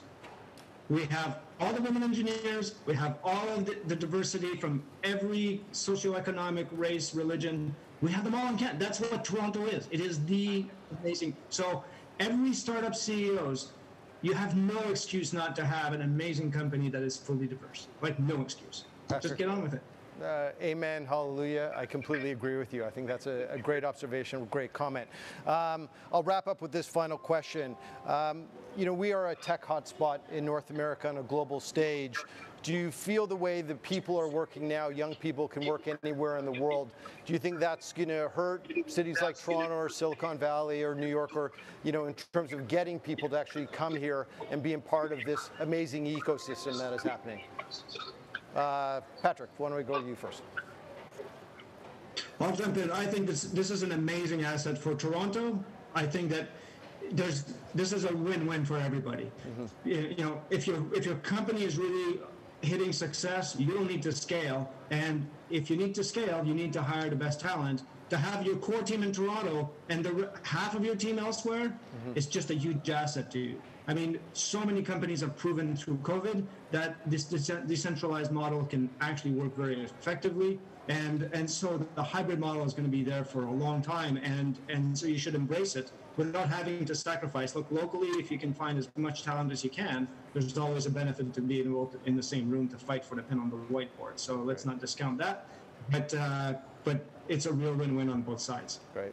Thanks, Patrick. Fani, final words? Uh, the only thing I would add, uh, Mark, to what Patrick said is uh, really uh, one thing, which is, as he said, it is the world of hybrid. It is the world where we all need to be more flexible, but we also need to work uh, physically to get there also. I see a huge advantage for Canada in general and Toronto specifically. You know, you create really great environments, but also the importance of social values is going to be is very important for youth mm-hmm. and the new generations that are coming into these new companies, they want to have you know good compensation. They want to work with really smart people. They also care about the values, and they also care to work in an environment that cares about the environment. So that is a huge asset in Toronto, and uh, and I think that that will continue to be an asset. Well, I, I, want to wrap up by saying thank you to both of you for being part of this conversation about a city and a region that we truly love. I am 55 years old and I learned a lot today, so you can still teach an old dog new tricks. So uh, thank you very much, and I, we really appreciate you taking the time to talk to a truly global audience. And next year we hope to have you here in person. Uh, turn it over to Stephen.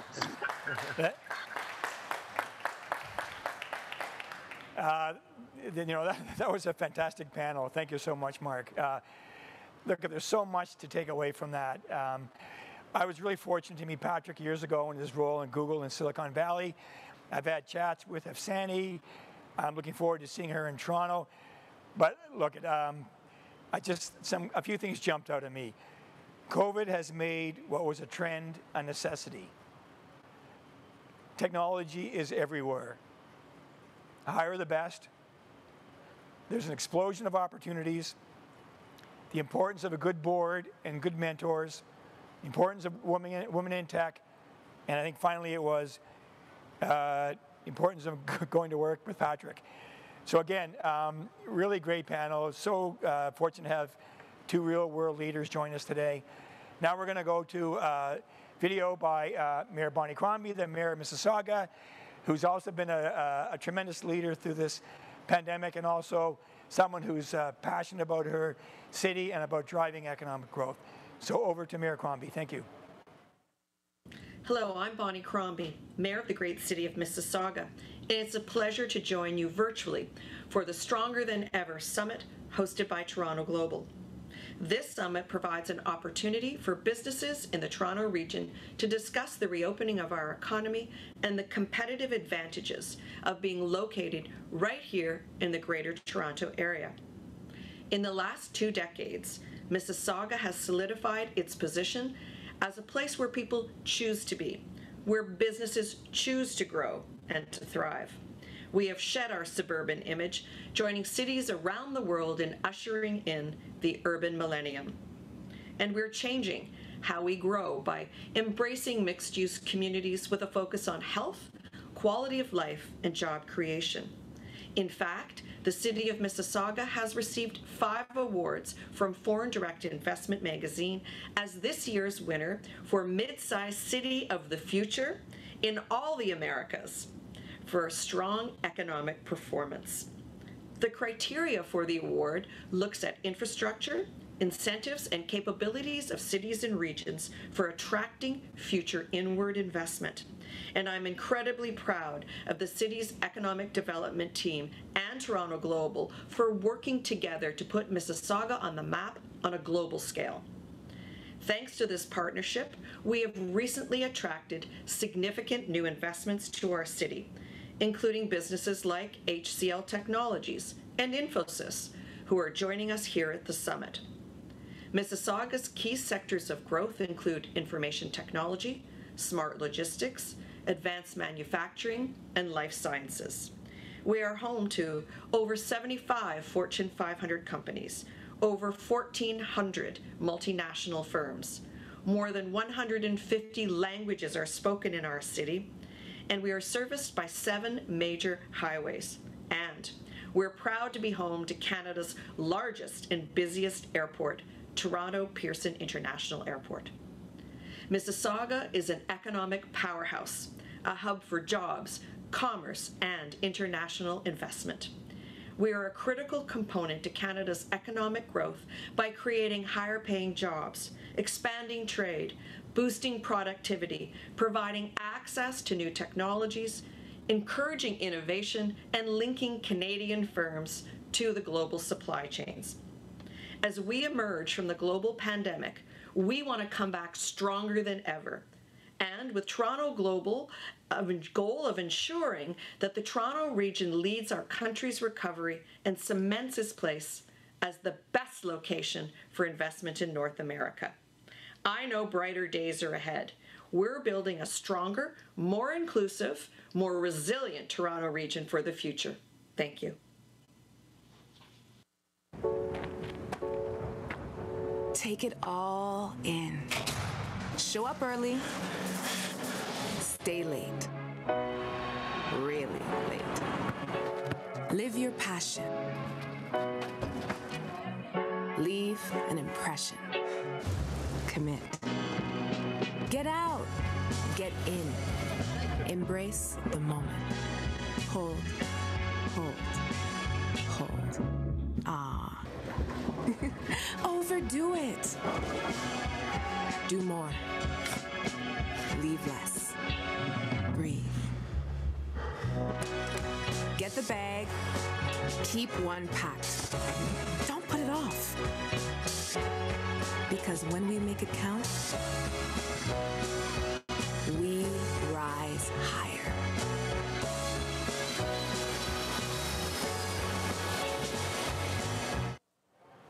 Welcome back. Thank you, Mayor Crombie, and thank you again for your partnership and your great leadership. We're moving into our next session, talking about technology. We're so fortunate to have some great leaders with some great companies joining us today. As, as we heard earlier, technology is everywhere. It's going to drive the economy. It's not so much a vertical, it's horizontal. It's how we do business, and it is so, so, so important. And how we're going to live and learn, how we're going to adapt, what's it going to look like, what are the skill sets like. We're going to hear some of those things today. But speaking of technology, I'm also looking forward to the days of no Zoom, to getting back into talking to people uh, in real life. Um, you know, what the most overused words in the English language are today, you're on mute. So I'm looking forward to getting past those days. So let's get going on our next panel. Erin Elofson joined Pinterest as the country manager for Canada in 2018, and in 2020 June, her remit expanded to include the Asia Pacific area. Sabrina Geremia, VP and country manager for Google in Canada. Sabrina leads the strategic direction of Google's cross-functional business strategy in Canada and Google's advertising business. Jen Wong is Reddit's Chief Operating Officer, overseeing business strategy and related teams from Reddit's New York office. Finally, joining us late at night from India is C Vijayakumar, otherwise known as CVK, the Chief Executive Officer and Managing Director of HCL Technologies. HCL has been named the fastest growing large technology company in the world for four consecutive years. I also want to point out um, the last panel we talked about uh, women in technology. I want to point out that three of our four leaders today are women in technology. So thank you for joining us. To moderate this discussion, we are joined by Greg Bonnell, anchor and host of The Real Economy on BNN Bloomberg. Greg, I'm going to turn it over to you. Thanks.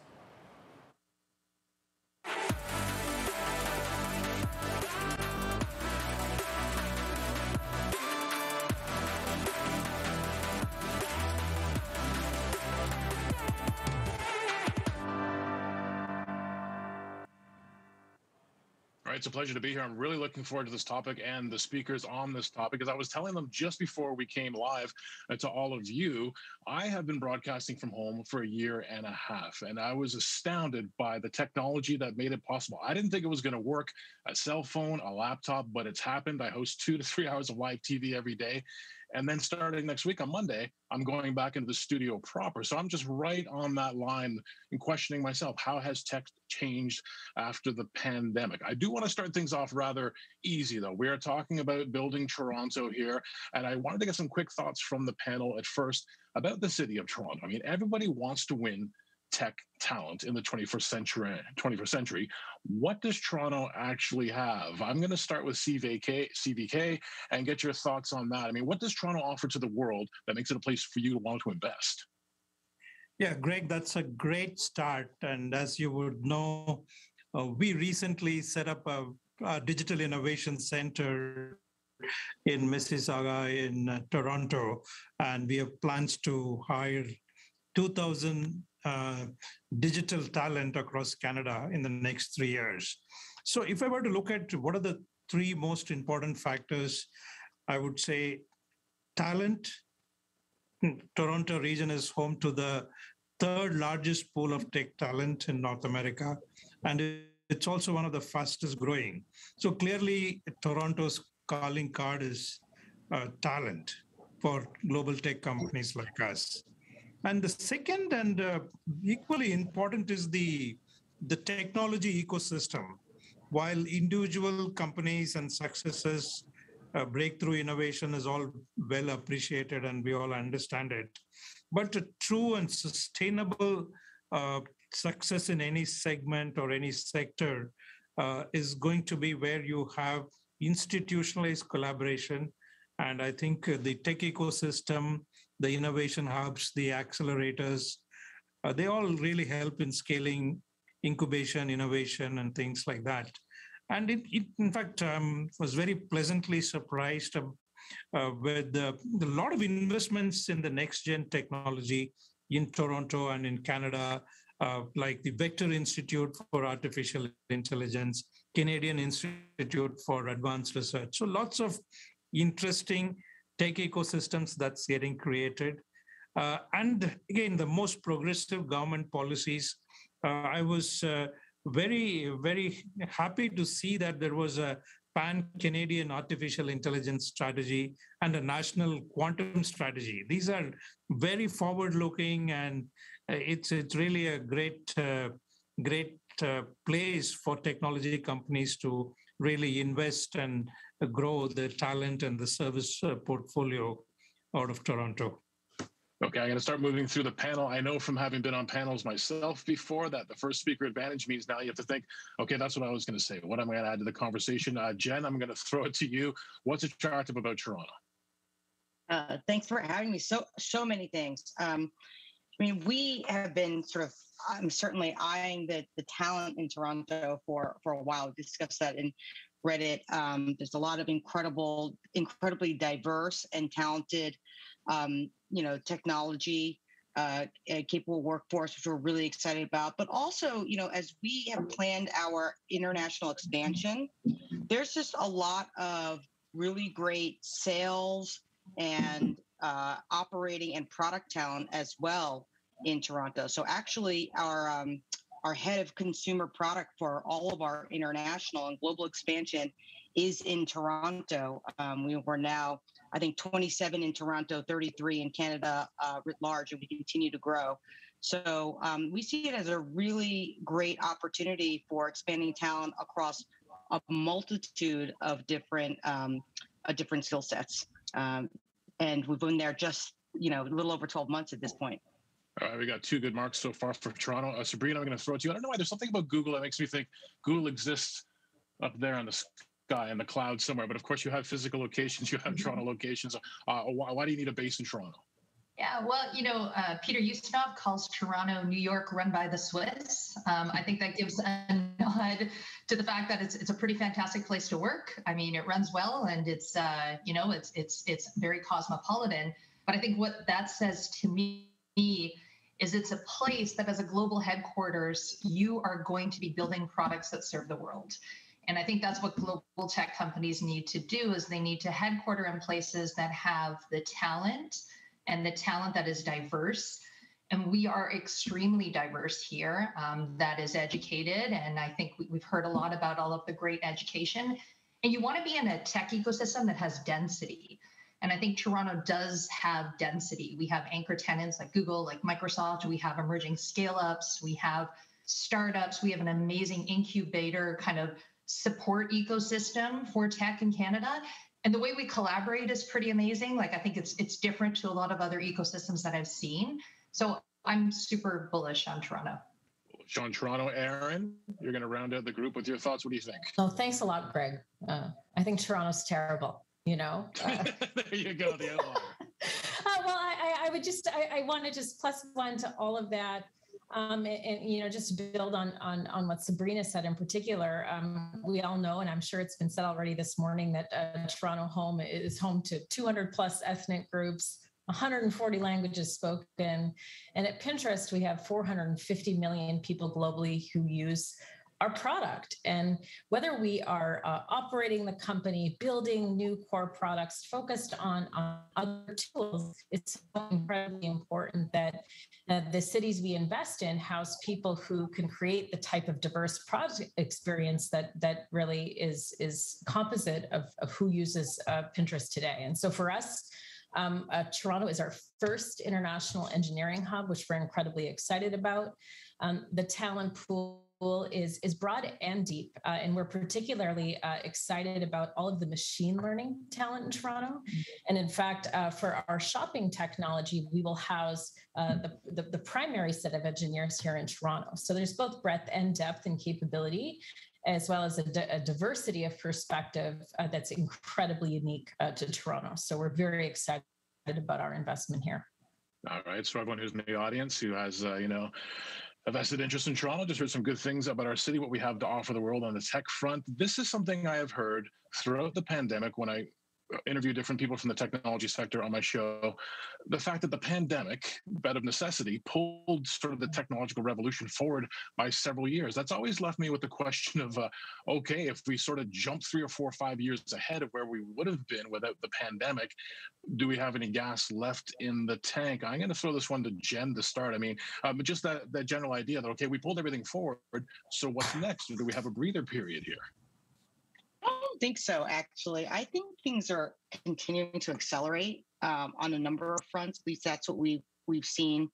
Uh, the platform, you know, on the platform, and you know, for example, e-commerce. This is an area, and I'm sure uh, Erin Screen in particular have, have seen this.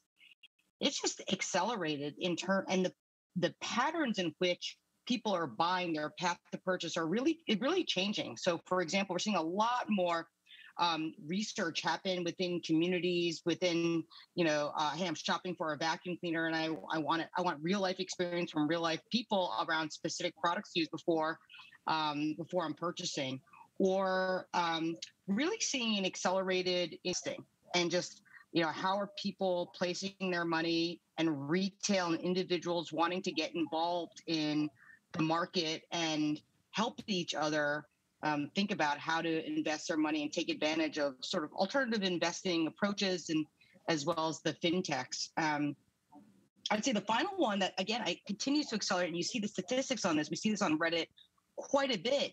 Is creators and the idea that um, you know that a, a, lot of folks who are you know the sort of Gen Z really um, really believe that you know maybe 40 50% want to spend their time being creators view it as a vibrant part of, of who they are. And we're seeing this activity more and more. During the pandemic this accelerated where a lot of people were going live and drawing and playing music and baking and and just sharing the things that they're passionate about with strangers and having other strangers engage and and love it and having it become a part of their their life and um, these behaviors, you know, we so, sort of saw them a year ago and they've only accelerated. So I think I'm probably in the camp of feeling like some of the changes, in, secular changes in behavior will just actually continue.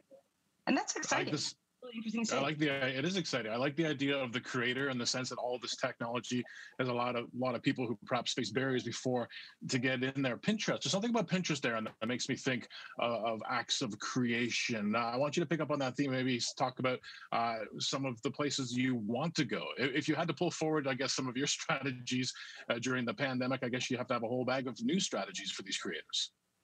Yeah, thank you. I think that. Um, this past year is that and is also a place for people to be productive and positive. And in terms of productivity, uh, people turn to Pinterest for uh, sheer mechanisms for survival. Uh, you know, if you'd never cooked before, uh, and suddenly you had all these kids at home and you had to produce dinner and you had to homeschool, people really turn to Pinterest to get ideas online to make their offline reality better and they had to be really agile about changing and learning new skills and tools. We also uh, discovered that in doing that, um, in using Pinterest, which has always been our purpose for people to be inspired and try new things, people felt good when they did new things. They discovered in a pandemic they needed an indoor garden. Uh, they tried uh, new hobbies, and all of that actually, through research, demonstrated that it made people feel more positive. And so I think uh, technology uh, became more purposeful and will continue to be more purposeful uh, serve a role not just in passive consumption of content, but in using content to actually uh, enrich your life experience offline and, to, and online. And enrich some people in the traditional way in terms of enrichment. Uh, I think of YouTube and how it spawns entire generations of new stars. I don't fully get it being the age that I am, but my sons fully get it. So Sabrina, I want to throw that to you in the in the terms of uh, people just being able to use the technology, being able to use a vehicle like YouTube to sort of reach out. There. Was there a shift during the pandemic? I mean, I know they existed before, but during the pandemic, what kind of activity did we see? Yeah, I mean, I think what we saw now, I like to think of it as like the watermark for digital acceleration went up. And I think a lot of the habits are going to stick, right? Like we have all become more digitally enabled on everything we do whether it's my 91 year old dad who is actually giving YouTube lessons to his like relatives uh, through Google Home Hubs, or whether it is the teachers that are all learning how to use Google Classroom today. I think on YouTube, I mean, the creator aspect of it is amazing. There's about 34,000 full time jobs with YouTube in Canada right now. And these are folks that are creating and doing new things, they're teaching. And I think everyone has just said this is like technology is a tool to get things done. And I think just the helpfulness across everything, like we all had to go through so much, and Canadians had to go through, and global, like everyone went through so much. it was a tool to be able to connect to people you loved. It was a tool to be able to educate when we couldn't get into classrooms. It's a tool to get information that is accessible and important to what you need at that moment. And so I think our ability to use technology and digital as a tool has increased. And from here, I, I think we're just going to be able to solve more problems. When I was running into problems early in this foray into home broadcasting, it had to do to a certain degree with infrastructure. So, CVK, I want to ask you for all the great things people are doing online, how did you feel about the state of Canada's internet infrastructure heading in to the pandemic? Was it robust enough to meet all these challenges? Uh, yes, absolutely, Greg. I think Toronto was one of the better equipped cities from the perspective of technology. We service over 70 plus top uh, Canadian companies. Uh, and I think uh, our teams could work very seamlessly remotely and we, we service some of the leading telecom providers as well. So I think uh, the, the whole infrastructure held up very well. And I think in one of the surveys, uh, I think Tufts University conducted, I think Toronto came up among the top 10 cities which really did well. The, the technology infrastructure did well during the pandemic. Erin, what do you think from Pinterest's point of view? Did you sort of have all of the, sort of the backline support in this country that you needed to do what you were doing in front of the house? Absolutely, we did, and and to, to, to to sort of the credit of a platform like Google, we were already for us an organization that was used to working uh, on documents in real time and collaborating in real time, and this just accelerated um, our, our need to do that. But th- thankfully, we were ready. I would also say, though, like many leaders here uh, that are on the call, and certainly Sabrina, we have the chance to work with many leaders across the company, across all sectors. Uh, and thank you to the infrastructure th- uh, uh, strength. Um, many of them were able to be very agile in suddenly having to produce a, a great e commerce experience, curbside uh, pickup mechanisms that didn't exist, as well as uh, even bringing call center workers uh, into the home, which many of the people I spoke to never thought that would be possible. And so um, the infrastructure was there and the talent was there to make really agile shifts in business strategy to serve Canadians at this time. I want to make clear to the panel that going start jumping around for questions and not everyone's going to get a chance uh, for to answer every question unless you really feel strongly and then jump in there and cut me off. But I did want to throw out uh, one for Jen right now, but social interaction moving online. I, in the old days on a Thursday, after work, we go across the street to the Firkin pub and we'd have a social with our coworkers. That moved online. It felt very strange at first, and now it just feels routine. As people feel more routine being online, Jen, where's the business opportunity for tech focused companies as, as we just sort of enter this new age of saying it's not so strange to talk to people this way? Yeah, I think um, you know it always starts with the consumer and what it is that that people want and i always believe that you can build a business uh, you know around that um, but uh, as i mentioned before i think what was really interesting about social interaction is people are really willing to spend time first of all with with strangers um, and they're willing to spend time with strangers in what i call a feeling of presence. So you know i think what people craved during the pandemic was the connection and the feeling of presence is when two people might be online at the same time. They might be live in video talking to each other. We saw this with Reddit Live. They might be playing music. They might be asking each other questions. They may not know each other, but they may have come in through a community where they both love baking, or they both love art, or they both, you know, play the piano. And that was that's probably one of the most profound and deep social interactions that we saw emerge that has really continued. And I think, you know, we now have seen people start to award each other. It's very interesting to, to, to buy awards and to want to start to tip each other and, and really want to give, you know, show appreciation to each other. That behavior, I think, will continue. And so, you know, you can start to see what the nexus of like a value exchange is in that new social interaction. I think we're at the beginning of it. Um, and I, you know, I always believe a business will emerge from that, but that's just such a, I think, an interesting, like profound kind of experience and social interaction that just didn't exist before. And now it's just so casual and feels so comfortable that's emerged. Um, And we, we've seen that a lot in all of our communities. Sabrina, I want to ask you what that does to a workplace culture. I've been to Google's headquarters in Toronto a couple a couple times doing various interviews over the year. Frankly, it looked like a fun place to work, a lot more fun than a newsroom. Uh, but with people doing remote kind of work, how do you keep and feeling pretty good about it, as as Jen was saying? Sabrina, how do you sort of keep that workplace culture alive when people communicate through phones and laptops? Yeah, I mean, I think the, the one benefit, and I think going back to what Erin was saying, is just the resilience of all the businesses. And we were very fortunate in that we create the tool that keeps a lot of businesses across Canada connected called Google Workspace. And just one thing to note, like in terms of technical infrastructure, uh, before the pandemic, six out of 10 companies in Canada just did not have this capacity to work remotely from home. So the fact that we're all here doing this is no short of a small miracle. I mean, we were seeing 2 million people uh, a day, 2 million businesses uh, just like joining Google Meets in the early parts of the, the pandemic because it was so essential. So we're all here in this format. Um, what I like to think about is where will it land and how do we kind of pivot to the future? So our view is that uh, we really believe in a hybrid workplace so that the future will have a mix of work from home and it will have a mix of remote and it's going to be tailored to different types of work.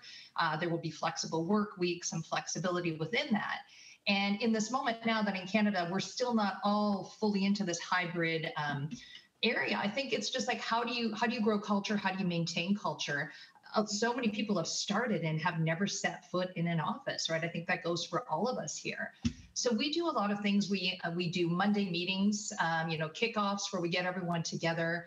We over-index in storytelling and in culture. Um, we really look at engagement with our employees, so getting them engaged on things from diversity and inclusion to employment resource groups, uh, to culture, to giving back in the community. I think that's a really important thing. And I think another thing that sets Toronto apart is that we're all very invested in Toronto as a com- community, whether it's like things like Shop Here or the Google Career Certificates that we've invested in to get Canadians um, enhanced with digital skills.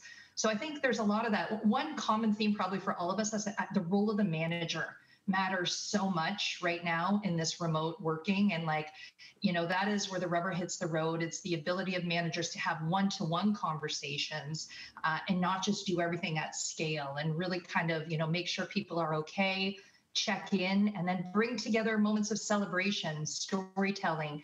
You can create the culture online but i have to say for me personally i'm very excited to move to a hybrid uh, future when we get there along those lines, uh, CVK, I want to ask you this because you talked about the expansion you're doing, the jobs that you're uh, hiring for in Canada. I, I've known several people during the pandemic who have left being in Bloomberg or left another job and they get onboarded, but they get onboarded digitally, right? They get onboarded yeah. through an online environment. What does that look like when you're going out and hiring people for HCL and they're not going to come into an office? I mean, that's the way I've started every job in my life going into an office, meeting people, getting trained.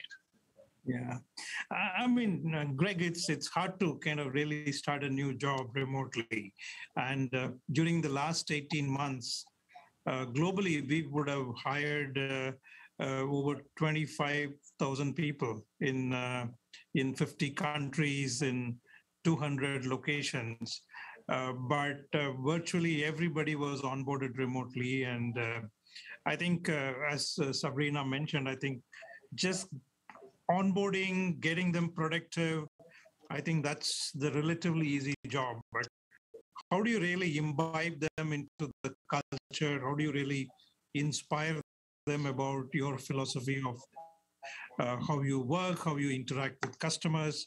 Uh, and I think a lot of smaller group settings really helps in uh, not so formal settings, a little bit informal uh, sessions with no agenda, but to just have a conversation with a team of people and then bring in some very experienced talent in your company, bring some young talent, and then really enable that interaction. I mean, very much like what you would do in an office environment. How can you make it a uh, little informal in a in a in a virtual world? I think that's where the trick lies. Uh, but I personally think uh, the virtual environments do not really replace the real environment. I think, uh, I mean, the center of gravity for any organization uh, will always remain some kind of location or physical infrastructure uh, the inspiration, the culture, all of that, the center of gravity is going to be a place where uh, people meet physically. And I think uh, the one fundamental reason for that is uh, I think all of us live with our memories, the memories that get curated with various experiences that we get. I think that's what really uh, lasts longer. And I think physical interactions has a much stronger memory and association uh, than virtual interactions.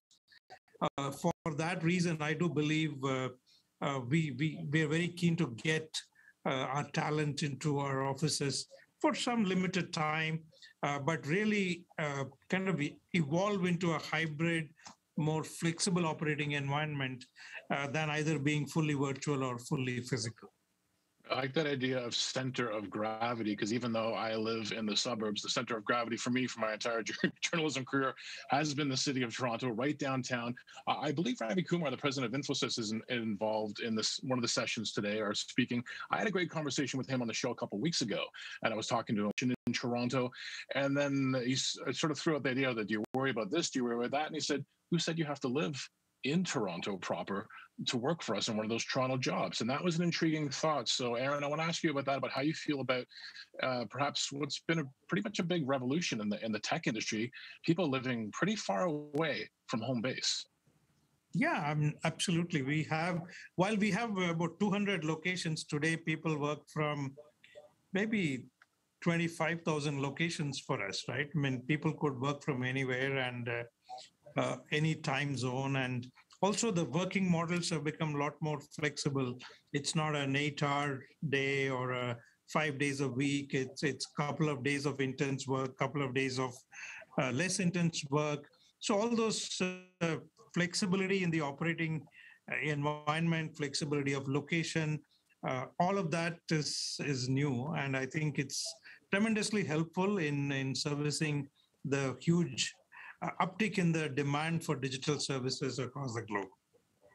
How do you feel about that over at Pinterest, Erin? Does that make sense? I just think about really tech driven jobs from home and sometimes fool people into thinking I'm in a studio. Then uh, there must be other jobs that could be fully remote. Well, absolutely. Um, there's no binary answer to anything. For us, we have two kind of very clear beliefs uh, about uh, the future of work. One is that in person collaboration is valuable, as everybody has said here. There are certain uh, ambiguous problems that need to be solved in person that, that you know, cr- create a, an in person creates a different trust making space that's very, very important. But we similarly believe that great work can be done anywhere now, anywhere can mean working independently at home, collaborating from home, uh, and collaborating from an office. So, here in Toronto specifically, we have invested uh, significantly in physical space. In fact, 50,000 square feet of office space. Uh, in these with, with, these beliefs in mind one of those floors being fully dedicated just to collaboration uh, and everybody ultimately is going to need flexibility and choice We've been working this way for 18 months. There's a bidirectional trust that's developed between employers and employees and a common understanding um, that flexibility will create the best type of work. And I think that's the ethos of, of, of, what we're saying today and, and really the ethos of Toronto, because you can live in the city, you can live in the suburbs as, as you do. Um, and none of that prohibits your access to both uh, your your home your home office space as well as a really really um, interesting and diverse environment uh of a physical space. Sabrina, when it comes to the work that Google does, obviously, if you're working for Google, you have an affinity for tech. You might even love tech. Uh, as we talk about the broader tech revolution for every workplace, is there a danger that some people fall behind? How do we make sure we bring everyone along on this journey, Sabrina? Well, I think that's a, that's a great question, and, and it's it's critical. Again, like you know, we're building products for the world. We need to bring everyone along, and it's it's it's critical. Um, I would say there's a couple of things as it pertains to diversity and also but digital skills. We are really vested in investing in digital skills in Canada. Um, we have a, a, large platform of micro credentials under a the banner of Grow with Google. And I, I actually had the chance to meet during the pandemic, you know, uh, remote opportunities to talk to people, uh, a bunch of young graduates who actually graduated from some of these career certificate programs. These are things like data science, um, different things to do with marketing, different things to do with project management that you can actually do these courses in six to 12 months.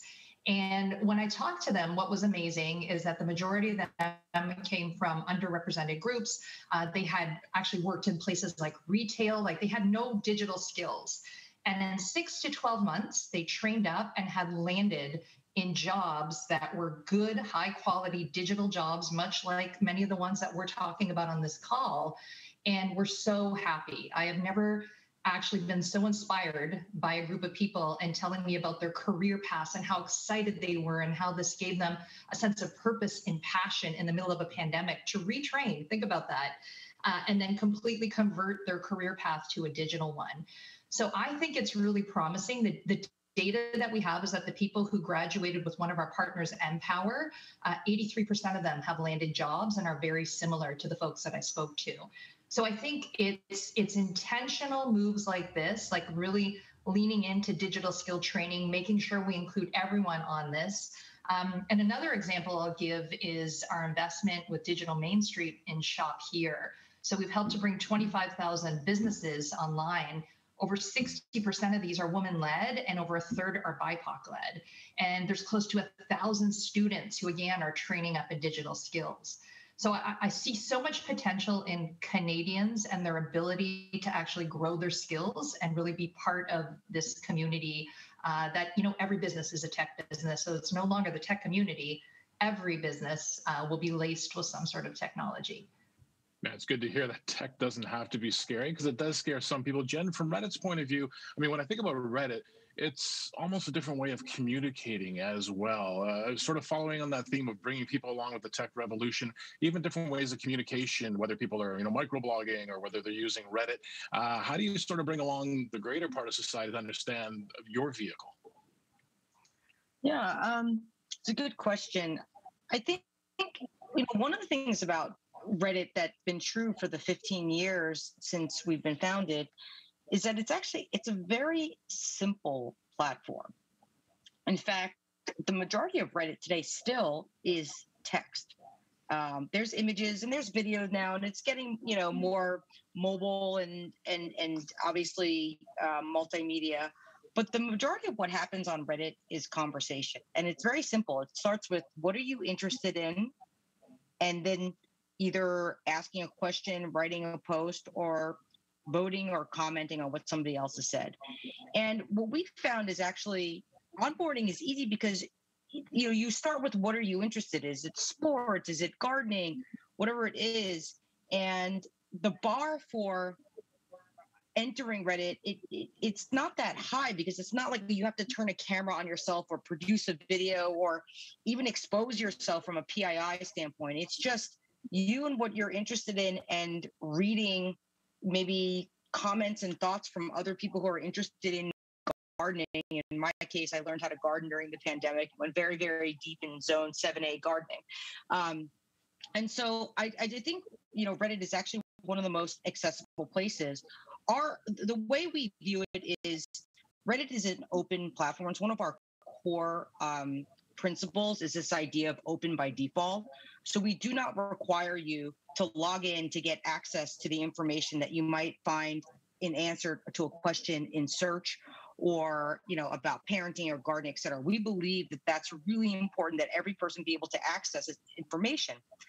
And so that i think really helps us be accessible because you can find your way things on reddit without friction and we designed it to to be that way. Um, I think that's part of our our mission, and it's actually what helps um, Reddit grow is that openness and the ability to to to do that. The second principle that we have is like empowerment. So everything on our platform is that is amazing is built by users. So the product itself is very simple.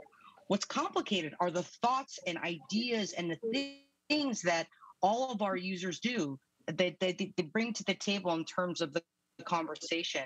And we empower them to build, to moderate their communities, to found communities, and propel them.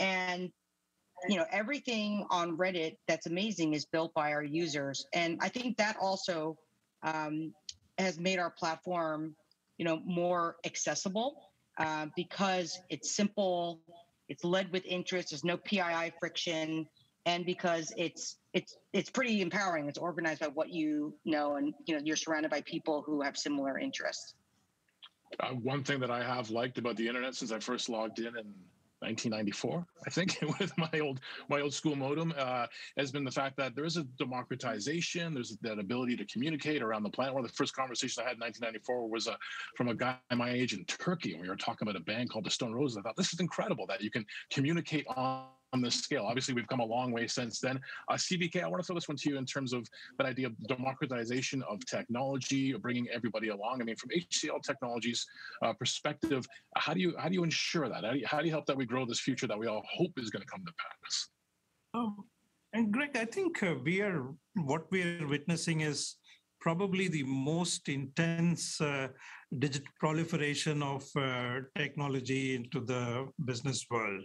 So every industry is getting techified, whether it is healthcare, whether it is retail, fintech, and even, I mean, very traditional industries in the industrial segment, manufacturing, all of them are trying to reinvent their uh, operating model uh, emanating from the business model, uh, which is changing right? Everyone is really focused on uh, how can they reimagine their business in a completely a virtual world, right? While a lot of them did a pivot to kind of survive and thrive through the pandemic, uh, but now they're resetting it to see what are those fundamental changes that they need to do uh, to to kind of really thrive uh, in this kind of uh, virtual world and I think that offers so much of opportunities uh, for for technology professionals to really create value uh, for their clients, and that's where we are bringing in a lot of industry knowledge and merging that with the technology capabilities, uh, so that every industry focused team can kind of be very very adept and in implementing the right solutions for our clients. We're going to throw things to a Q&A with the audience in a couple minutes time. So I have one last question for the panel. I like setting these up as speed rounds. I mean, you don't have to answer in 10 seconds or less, but I'll start with Erin. And I asked this a lot of the guests to come on and be in Bloomberg because we came out the other side of this thing. What's your one big takeaway from the pandemic that you say, okay, by no means did I enjoy having to live this way, but I take this lesson with me and go forward. We'll start with Erin. Well, I think uh, topical to this conversation here uh, in the pandemic, we've learned that um, technology plays both a role in utility in helping us through these types of times and also a role in giving us purpose and productivity in new and different ways. Uh, and my takeaway is that uh, I can do more than I thought I could.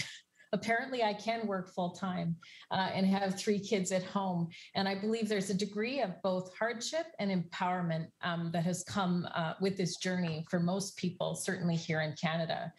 Um, thanks to the great uh, support we've had uh, from our city, thanks to technology, I've learned um, that that technology gives us the ability to do a lot and, and, and be capable of more than we thought hardship and empowerment. I like that. I might even uh, lift that on the TV show, although giving you full credit, of course, Erin. Uh, uh, Sabrina, what are your thoughts on this? Well, first of all, I think technology is a tool that can be incredibly helpful. And secondly, I think it's resilience. I think Canadians, people around the world, we have been resilient. Um, we've always thought about resiliency at an individual level in our own personal struggles, but it's been interesting to see also the business resilience of being able to completely retool how you work from, you know, a front end user experience all the way down to supply chain and operate in a very different fashion.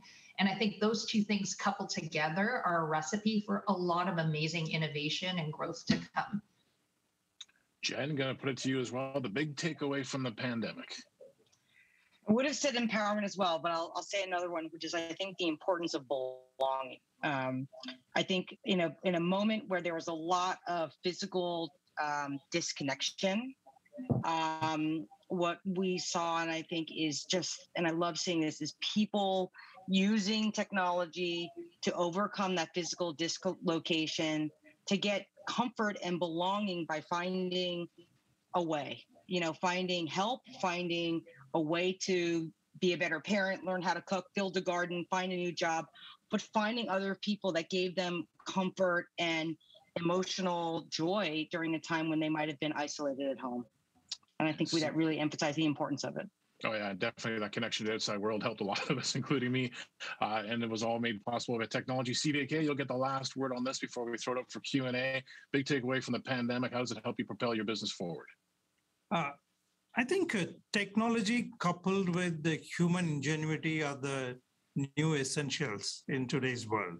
I think just bringing these two pieces together really amplifies the power of resilience and power of uh, uh, technology and human ingenuity. They become the new essentials. That would be the biggest takeaway for us. All right. I, I, really enjoyed that discussion. Those are my questions. I've hogged up enough of the time. Uh, Stephen, I believe you're going to start uh, taking some questions from the uh, from the viewers, of the participants. Greg, thanks so much. Uh, great panel. So much to take away. Uh, I'm going to highlight a couple of things, and I'm sure I missed a lot. But technology is everywhere. Every business is a technology business. Tech habits will stick after the pandemic. I think I heard Sabrina's 92 year old dad might be a YouTube star. But Toronto has uh, great, great, great tech talent. Work from home is here to stay, flexible work is here to stay, but social interaction is really still important. So, um, lots of great takeaways. Uh, we're going to turn to some questions in a second, but let me start off by asking one. Um, as I look on the screen, I see three of our uh, technology leaders are women in technology and are really role models um, for a lot of young girls, a lot of young women. Let me ask the question to all of you. How do we keep that trend going? How do we encourage more women to get into technology? I'll turn that back to you guys.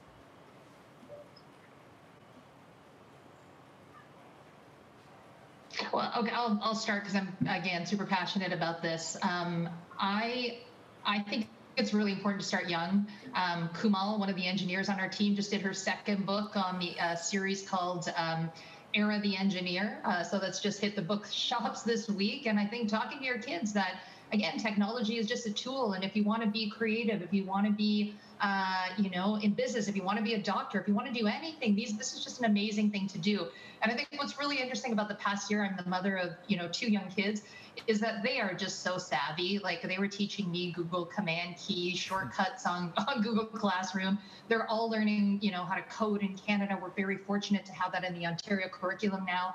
So I think it's just showing them the possibilities, showing them the role models is really, really important because people need to see uh, that it looks like them. And I also think it's really important that parents encourage uh, girls and underrepresented, uh, you know, youth of all type to really kind of lean into this. And I think further on in the career, if if you haven't started young, you don't need to be afraid because this is learnable. I keep going back to these uh, reskilling stories of people that I've met with that have no digital skills, that worked in restaurants or did other uh, work before the pandemic and now are in digital jobs. So there's a lot of great micro credentials like Grow with Google and beyond.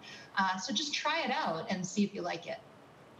Stephen, I might add something, um, just just if possible, building on what Sabrina said, uh, which is that uh, it starts with with education, and then it starts with uh, all of the business leaders. Uh, clearly, here on the panel and on the phone, uh, you know, we're hiring uh, 50 people here in Toronto and more, and growing rapidly in the world and, and, there's such an important base of evidence that suggests it's it's when when women first enter their career it's so important they get the leg up then and so we share a very serious responsibility to give women access to, to jobs and opportunity uh, after uh, they graduate. Uh, and, and on that responsibility is one we all have to take very seriously because many of us are fortunate to be hiring and we're so excited. And I often partner with people like Sabrina to figure out how we lift more women up with us. Yeah, I would echo that as a, as a company that um, has been fortunate to be growing and, you know, doubling in size, like adding, you know, when you, when you have the opportunity to add 700 new people to a company, that is an incredible opportunity to create opportunities for women and diverse leaders to join your company. And um, we've spent a lot of time, in, in, and in one year, you can change the composition of your company. And create opportunities that are incredible because you're going through this this growth phase. So there's both opportunities within the business and an opportunity to bring people in. And that's something that we've really focused in on as a leadership team, such that in you know in, in a short order, um, we have uh, our workforce looks very different, which is really really exciting. So I encourage folks to take advantage of those opportunities to um, to create opportunities for women and other diverse up and coming leaders. Great. CVK, anything to add on that?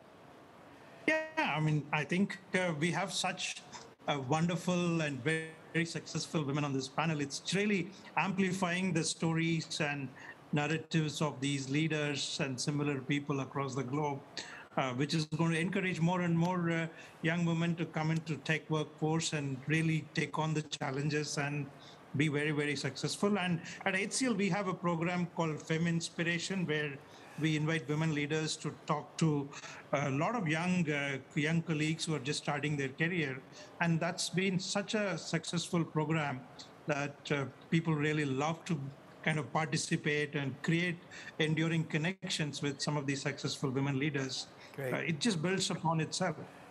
Thank you so much. We're going to turn to Taylor um, to see if we have some questions from the audience and uh, from media. Taylor. Thank you. Uh, we have some questions from our audience. The first one is What are some of the steps that tech firms are taking to alleviate burnout caused by working from home?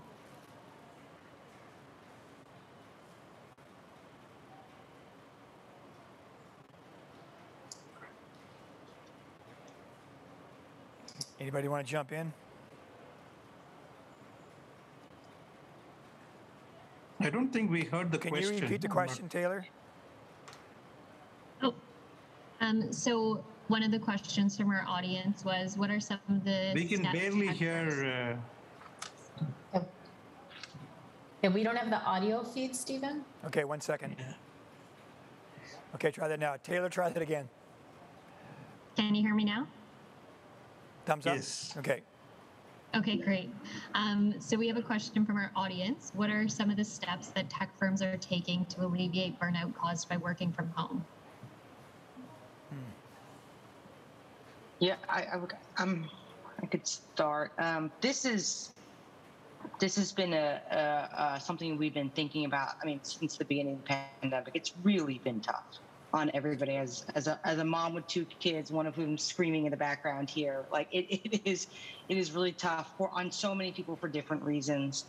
Um, part of it was, you know, was this this feeling of belonging and connectivity that where people were struggling and. Um, and we have we we do a lot more really fun company events to create connectivity especially for new people who really haven't ramped and haven't met anybody. And actually it's been really effective using zoom because you can you know unlike if we had gathered as a company and you sort of randomly meet people you know uh, you know as you walk around you can actually construct a room of all new people give them an agenda of of, of things to talk about that are that are really deep sharing. And they feel like they've got eight to ten new people that they know that they that they know in a really you construct the interaction well in, in a great way. And you do that four or five times there's suddenly a hundred people that they feel that they feel connected to. Um, so we've been doing that quite a bit as well as more um, company meetings. The other thing we've done is we do a coordinated mental wellness day every month. We've been doing this since the beginning of the pandemic. Whole company takes the day off. There really should be little to no emails flying that day, and that is true. And our company has really said, wow. I mean, just that one day where the email volume's low, the you know, the just the work volume's low, take a breather. It feels so good. um, and that's worked. I think our, our employees have um, really uh, really benefited from that. Um, but it is, you know, it is a re- it has been a real, real challenge um, when you're, you know, roll out of bed and roll to your desk and roll to your dinner table, and um, it's it's been a real challenge that's been expressed by by our our employees.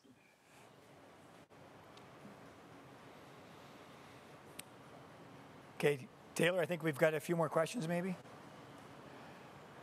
Yes. Uh, so another question from our audience: How will tech companies remain relevant employers of talent amidst increasing automation and the inclusion of artificial intelligence? I think I'll, I'll, jump in on that one because I think this is another misnomer one because they talk about 40% of, of jobs being automated or lost to automation. It's actually not jobs, it's of work. Uh, so 40% of work is going to be automated is one of you know the estimates and we don't know exactly what it will be and what that means is that every job is going to have an element of automation that you're going to work alongside. And I see this with my team and the work that we do because we're a builder of some of this automation is what it means for the worker is interestingly you're, you're dropping certain tasks that you've done in the past and sometimes these are more repetitive tasks or things that can be done by machines and machine learning and then the onus is to really up level your skills in new areas on teamwork, uh, critical th- thinking, driving strategy, doing things. So in, in kind of a reverse way, in, in that scenario, it is actually a very exciting thing uh, for someone with this continuous learner curiosity mindset because your job is never the same. I've been at Google for 15 years.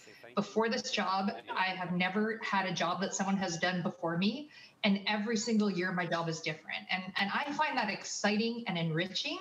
Um, now this is going to hit different sectors differently but again i think this ability to learn digital skills is so inherent in all of us. And uh, I, th- I, think there's actually a, a, silver lining to all of this on the future of work. Anybody else want to pipe in? Yeah i mean i would uh, completely agree with sabrina. Uh, it's it's completely a misnomer that uh, so many jobs get eliminated. I think the tasks get automated, but higher order jobs get created all the time. And we've seen that across many, many different life cycles of automation uh, in the last many years. And I think the whole lifelong learning, continuous learning, I think we need to emphasize that to alleviate such concerns about uh, large scale uh, uh, reduction in jobs and things like that. Okay, I think we're ready. Uh, thank you so much for joining us today. Erin, Sabrina, Jen, CVK, Greg, thanks for moderating this panel. Uh, terrific, fantastic. Uh, uh, it's exciting, the future of technology and the role it will play and the role you as leaders will play. So again, thanks so much for joining us. Now we're going to go to a video. Uh, Mayor Patrick Brown of Brampton is going to share a few words with us. As I mentioned earlier, we're so fortunate in this region to have such great, great leadership throughout the region. And Mayor Brown has been uh, driving force in Brampton through this pandemic and also driving economic growth. So over to Mayor Brown. Good morning. I'm pleased to be here today to share with you the City of Brampton's story as it relates to the COVID 19 pandemic, our recovery, and how we continue to demonstrate economic resiliency. Brampton is the second fastest growing city in Canada and is on the verge of significant and deliberate transformation. Despite the COVID 19 pandemic, we continue to be energized with new knowledge and inspired by, new, uh, by a new way of thinking. Brampton's population is close to 800,000 people, and diversity is woven into every aspect of our way of life, whether it's food, art, business, and investment. We value and celebrate our diversity. Brampton truly is a mosaic represented by young, diverse, uh, a young, diverse workforce, 234 cultures, speaking 115 languages. This is significant. It makes us a unique location in comparison to neighboring cities. 50% of new immigrants in Brampton are under the age of 24. We are one of the youngest cities in North America with a median age of 36.4 years old. One of our greatest logistical advantages for Brampton is our connectivity and market access. We are proudly home to the CN Intermodal, Canada's largest intermodal terminal, and to the closest downtown, uh, the closest downtown to Pearson International Airport. Brampton has a large supply of vacant land still available, which is unique in the GTA. And we've got a diversified economy. This has proven vital during the recent COVID 19 pandemic. Our economy has shown great resiliency, especially in the areas of advanced manufacturing and food and beverage processing. We saw Brampton's advanced manufacturing companies pivot from producing their traditional products to the highly in demand PPE equipment and sanitization supplies. We watched our food and beverage processors respond to higher than ever demand for their products and services, and they rose to the challenge by adhering to new health and safety guidelines while continuing to meet increased need and demand for their products. It really was incredible. In effort to support our business community and the residents of Brampton, we were one of the first cities in Canada to release an economic recovery strategy. Our strategy aims to bring resiliency and, and a competitive advantage to the Brampton economy. This is being achieved by fully adopting our innovation and technology transformation, seizing opportunities to attract investment, expediting infrastructure projects, and shifting the paradigm through which the arts and creative sector serves as the beating heart of Brampton. Our economic recovery strategy is organized into four cornerstones innovation technology and entrepreneurship, the innovation and technology sector, uh, continues to be highly adaptable and resilient. A significant focus is being put on supporting innovation and tech companies through dedicated sector supports as well as investments in the up and coming Brampton Innovation District, a key initiative under the Innovation Cornerstone. Being at the center of Canada's innovation corridor gives us the advantage of attracting talent from both Toronto and Waterloo, and we are actively inviting international businesses, globally minded startups, and entrepreneurs to come to Brampton and be part of our new innovation district. For potential employers and startups, the Brampton Innovation District provides local talent development and support for entrepreneurs and new business owners through every stage of their journey, from education, training, and reskilling to support for companies of all sizes and across all sectors. The Innovation District is developing an ecosystem which is which also offers resources to support innovation and technology companies in creating new technology. It's an exciting addition to our Brampton downtown. Infrastructure. Historically, governments have launched infrastructure projects to help create jobs and drive economic recovery. Coming out of our economic crisis, as Canada's federal and provincial governments roll out infrastructure projects, uh, to help the country come out of COVID, we are at the heart of that. We are uh, ready to take advantage of that economic impact. We have shovel ready projects left, right, and center in Brampton. Uh, arts, culture, and tourism is another component of our economic recovery. And right now, Brampton's identity not only remains relevant, but are required in an effort to transform the city's current cultural environment into a thriving art scene. Um, complete with opportunities to produce, participate, and consume creative products that drive cultural and community progress, grow the local economy, attract investment, and build Brampton's identity. We're big believers that arts, investments in arts and culture are economic drivers. I'd also add the new normal that is being created throughout the economy post COVID will provide opportunities as companies review and potentially restructure their operations and supply chains. The City of Brampton will seize these private sector investment opportunities by supporting our local companies as they adapt to new realities, building on our strategic advantages like logistics and looking internationally for companies that would benefit from investing in Brampton, an entry point into the North American market. In response to COVID 19, our FDI strategy pivoted to being completely virtual in 2020, something different for sure. And Brampton was one of the first cities in the country to host virtual FDI missions. The first missions were to Japan and Germany, and we had CEOs and companies who were grateful and receptive to be part of it. And I want to thank uh, uh, high commissions and embassies in other countries that worked with the city of Brampton to tell our story and, and tell how Brampton remained open for business despite the adversity of the pandemic. Mac. You know, Brampton is a great city to live, work, play, and invest. And I should note that some of the accomplishments we've seen with FDI are the FDI Intelligence, a division of the Financial Times UK, announced the results of its American Cities of the Year awards, with the city of Brampton actually ranking sixth in the top 10 mid-sized North American cities of the future category. Brampton also ranked second in the top 10 mid-sized American cities of the future connectivity category and 12th in the top 25 American cities for FDI strategy. So it's nice to see Brampton's foreign direct investment being recognized. And, and you know, it is key. Um, it's key to our health sciences uh, expansion, advanced manufacturing, which includes, of course, food and beverage manufacturing. And, and it's also going to be key to our innovation and technology sector.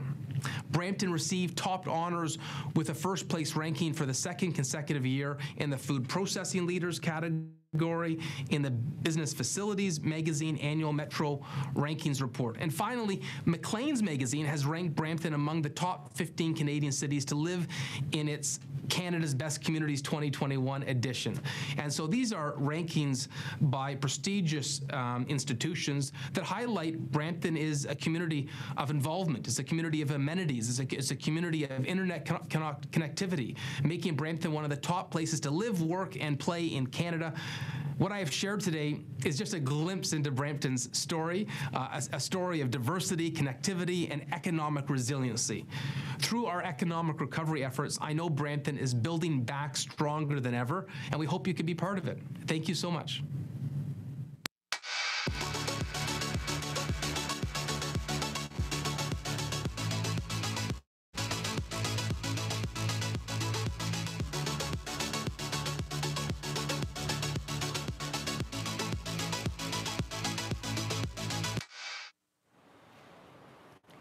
Thank you so much, Mayor Brown, for joining us. Uh, amazing things happening in Brampton, as you said. Coming back stronger than ever. The sudden disruption and closure of the global, global economy caused by the pandemic has created fault lines and cracks. Fault lines where cracks once existed, uprooting daily practices, interactions, and the way we work. But also gave leaders a chance to reimagine ways to, re to rebuild a more united, connected economy and region. So what have, what have we learned through all this? How do we ensure an equal recovery for all? And what are our priorities? Let's turn to a great panel we have lined up. Jan De Silva is the president and CEO of the Toronto Region Board of Trade, one of the largest and most influential business organizations in North America. She is spearheading efforts to make Toronto one of the most competitive and sought after business regions in the world. Kathleen McLaughlin is Executive Vice President and Chief Sustainability Officer for Walmart and President of the Walmart Foundation. Kathleen is responsible for programs that help Walmart create economic opportunity through jobs and sourcing, enhance the sustainability of supply chains, and strengthen the resilience of local communities. On video, we have Ravi Kumar, the president of Infosys. In his role, Ravi leads the Infosys Global Services Organization across all global industry segments, driving all of Infosys's digital transformation services. Mike Ableson, Arrival's automotive, automotive chief executive officer, he joined in October 2019 to support Arrival's in its mission to revolutionize the auto industry. Mike leads Arrival Automotive in both North America and Europe and holds a leadership role within Arrival R&D. Let me please welcome Rita Trichur, senior business writer and columnist for the Globe and Mail's Report on Business, to moderate this panel. Rita, over to you.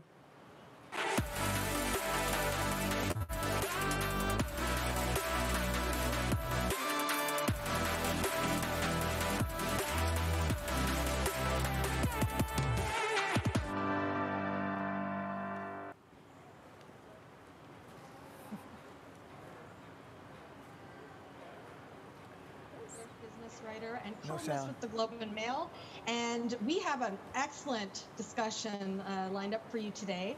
Uh, before we plunge into my questions, and of course I have lots of questions as a journalist, um, I'm going to give the floor to each of the speakers to give introductory remarks. They're going to just okay. speak for a few minutes each to kind of give an overview of wh where they're coming from. And we're going to start with Jan. So Jan, take it away. Sure. Um, happy to be here today to have a discussion about how we're going to come back better and stronger. But it all starts with the fact that what we've got here in the region is a very strong business community.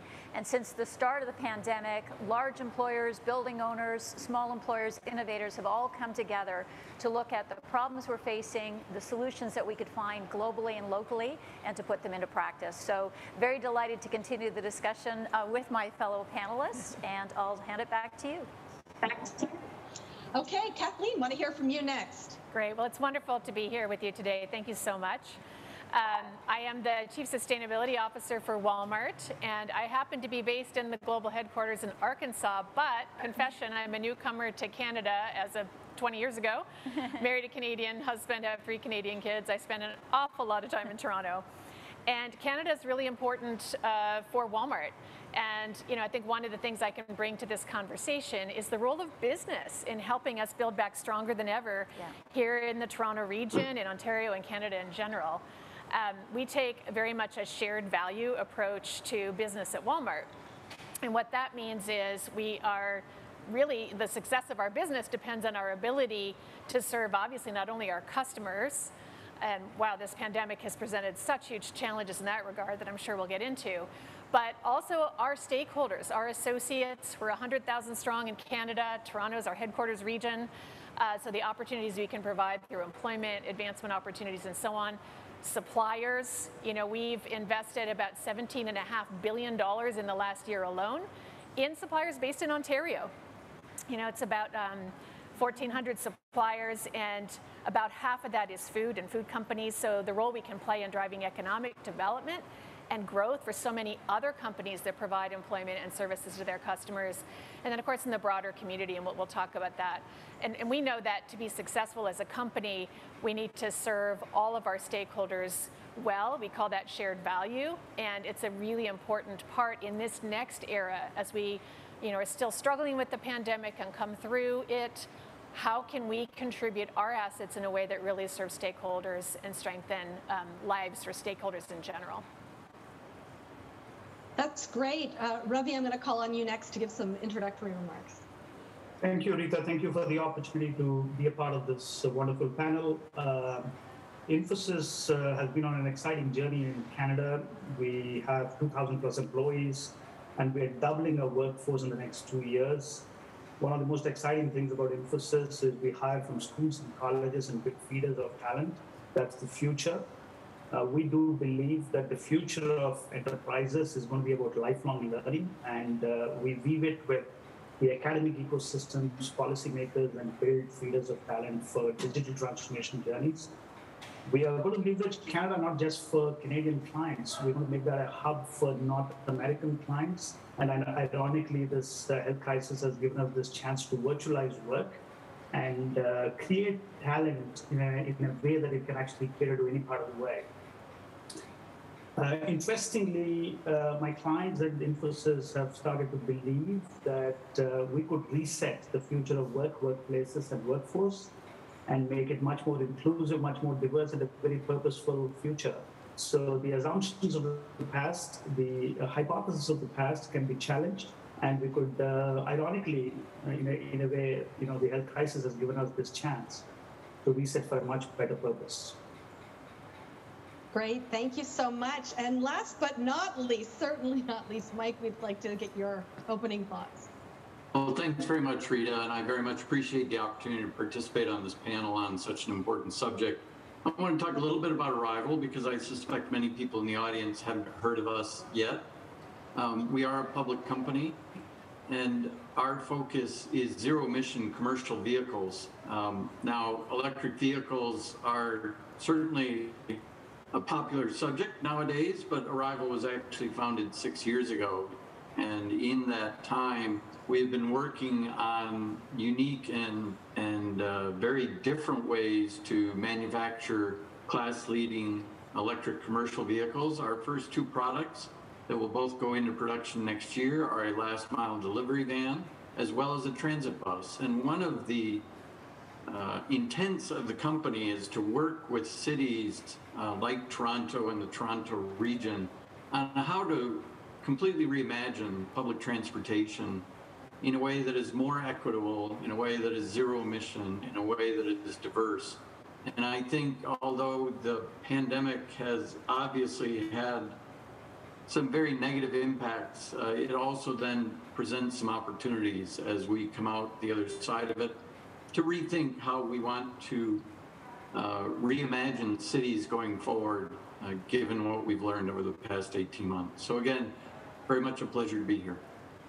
Well, thank you all for being here. Let's jump right into the discussion. We're in the fourth wave of this pandemic now here in Canada. What are the big lessons for the business community? And are businesses actually prepared for this next leg of the crisis? I want to hear from all of you on this question. Uh, and we're going to go in this order Jen, uh, Kathleen, Ravi, and then Michael.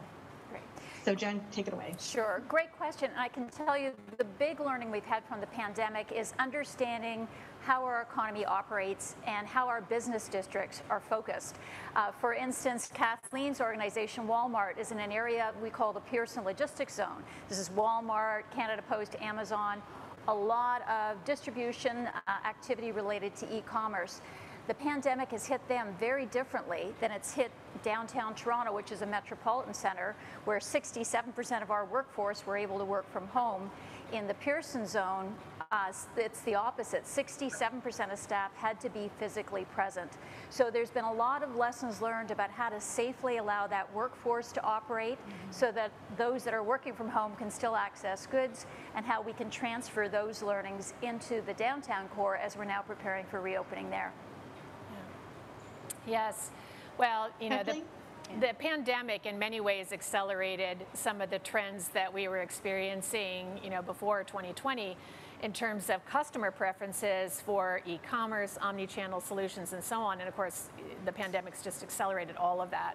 So for us, our first priority was our own people could we continue to operate and meet the needs of our customers while protecting uh, associates? So we invested $125 million in incremental paid time off for people who needed to stay home in quarantine or, you know, obviously people who got sick. Um, and then also telehealth options and other assistance, so mental health services and, and so on. PPE and changes to our operating procedures to provide protection for associates and for customers to shop with distancing, metering, and so on.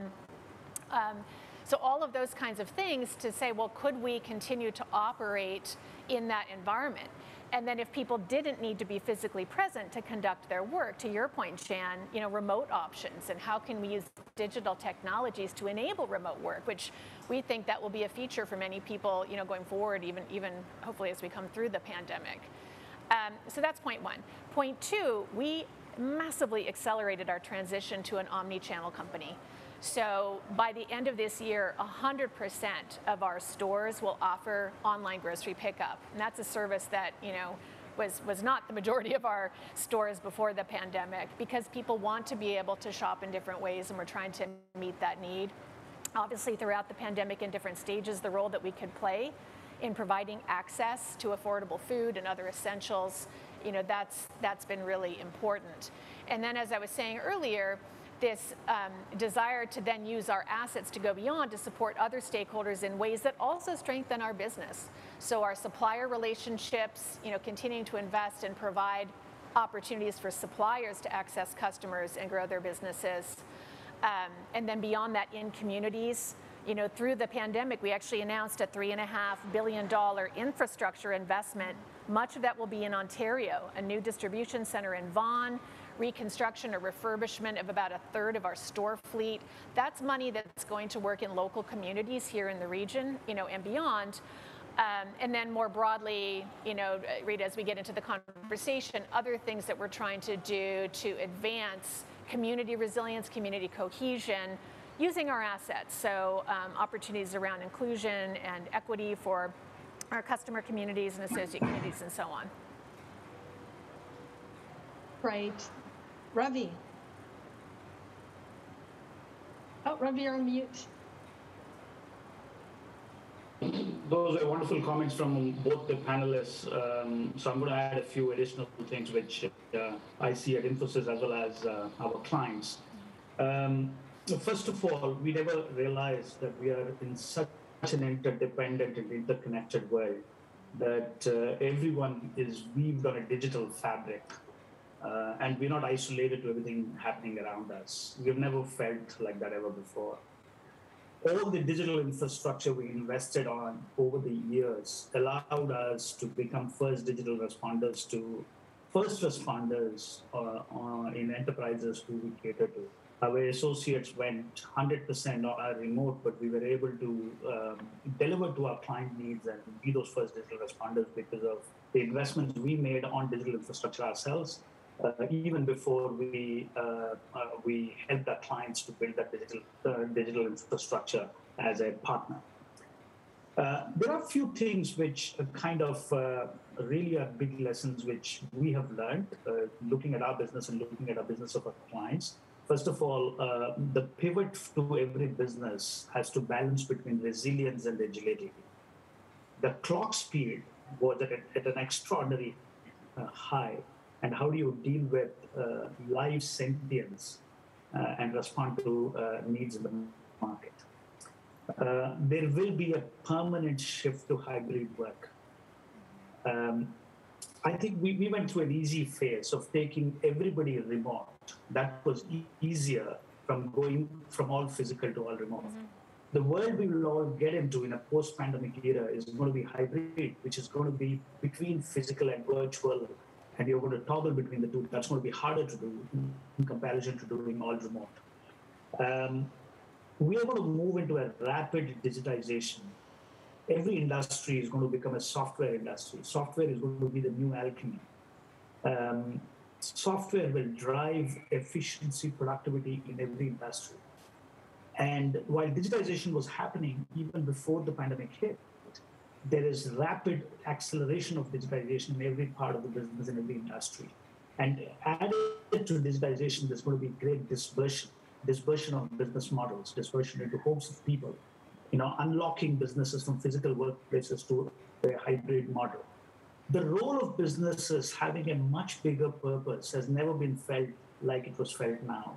Businesses are the biggest platforms for societal change. I think every business has started to acknowledge in some sense that the businesses are those platforms which can drive that societal impact and change. Empathy at workplace has never been more important than, than it is today. And finally, I would like to conclude by saying one other thing.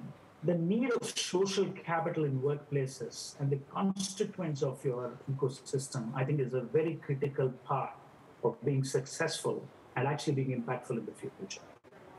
The need to build social capital. Those are some great insights. Um, Mike, what do you have to add? So, um, a, a, few things here uh, in addition to comments made so far.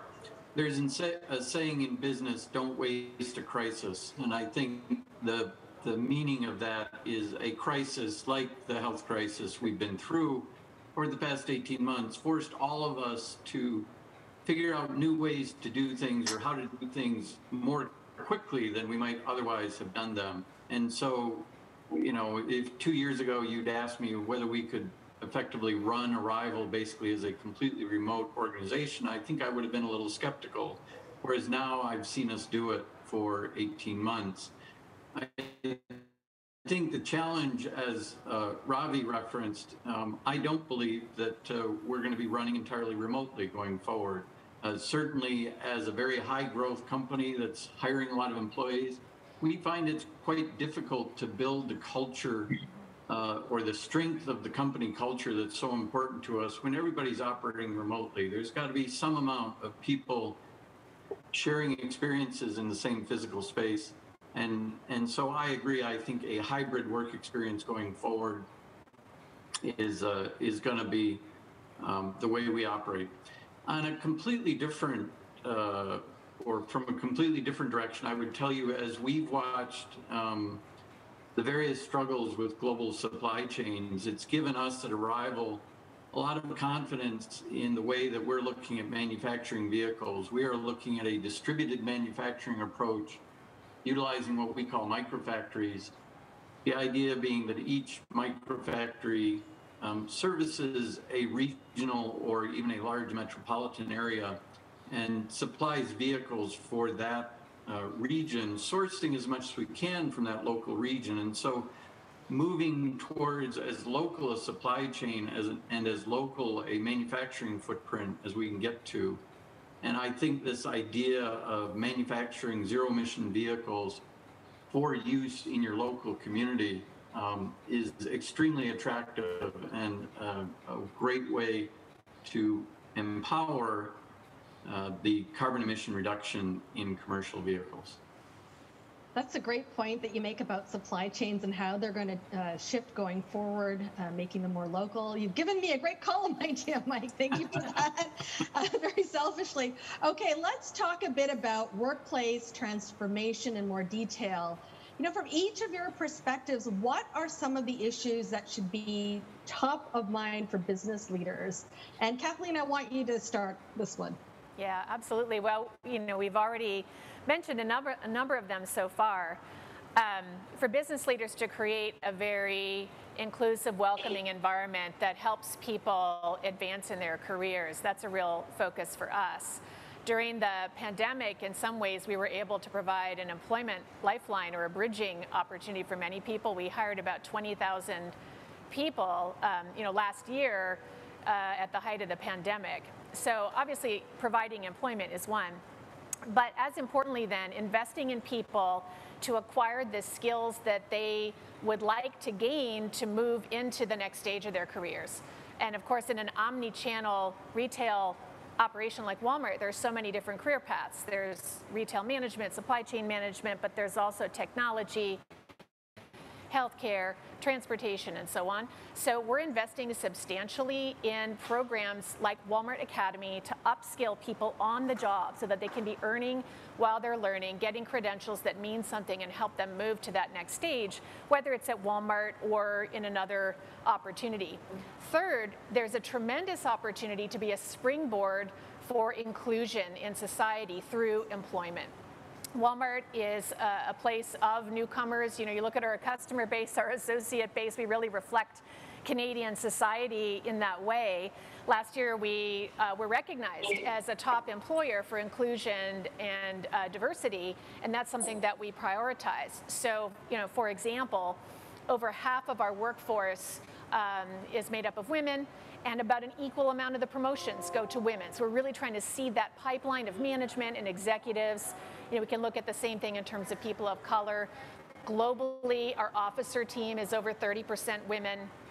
Um, and in terms of people of color, about the same percentage. So this is something that we're really, really prioritizing.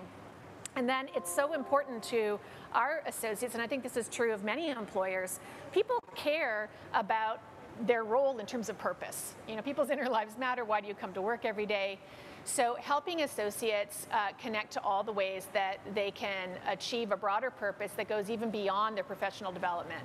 So I talked about the shared value philosophy, but helping people engage in initiatives that use our business assets to address issues in society, whether that is environmental sustainability or equity, opportunity issues, community cohesion, and so on.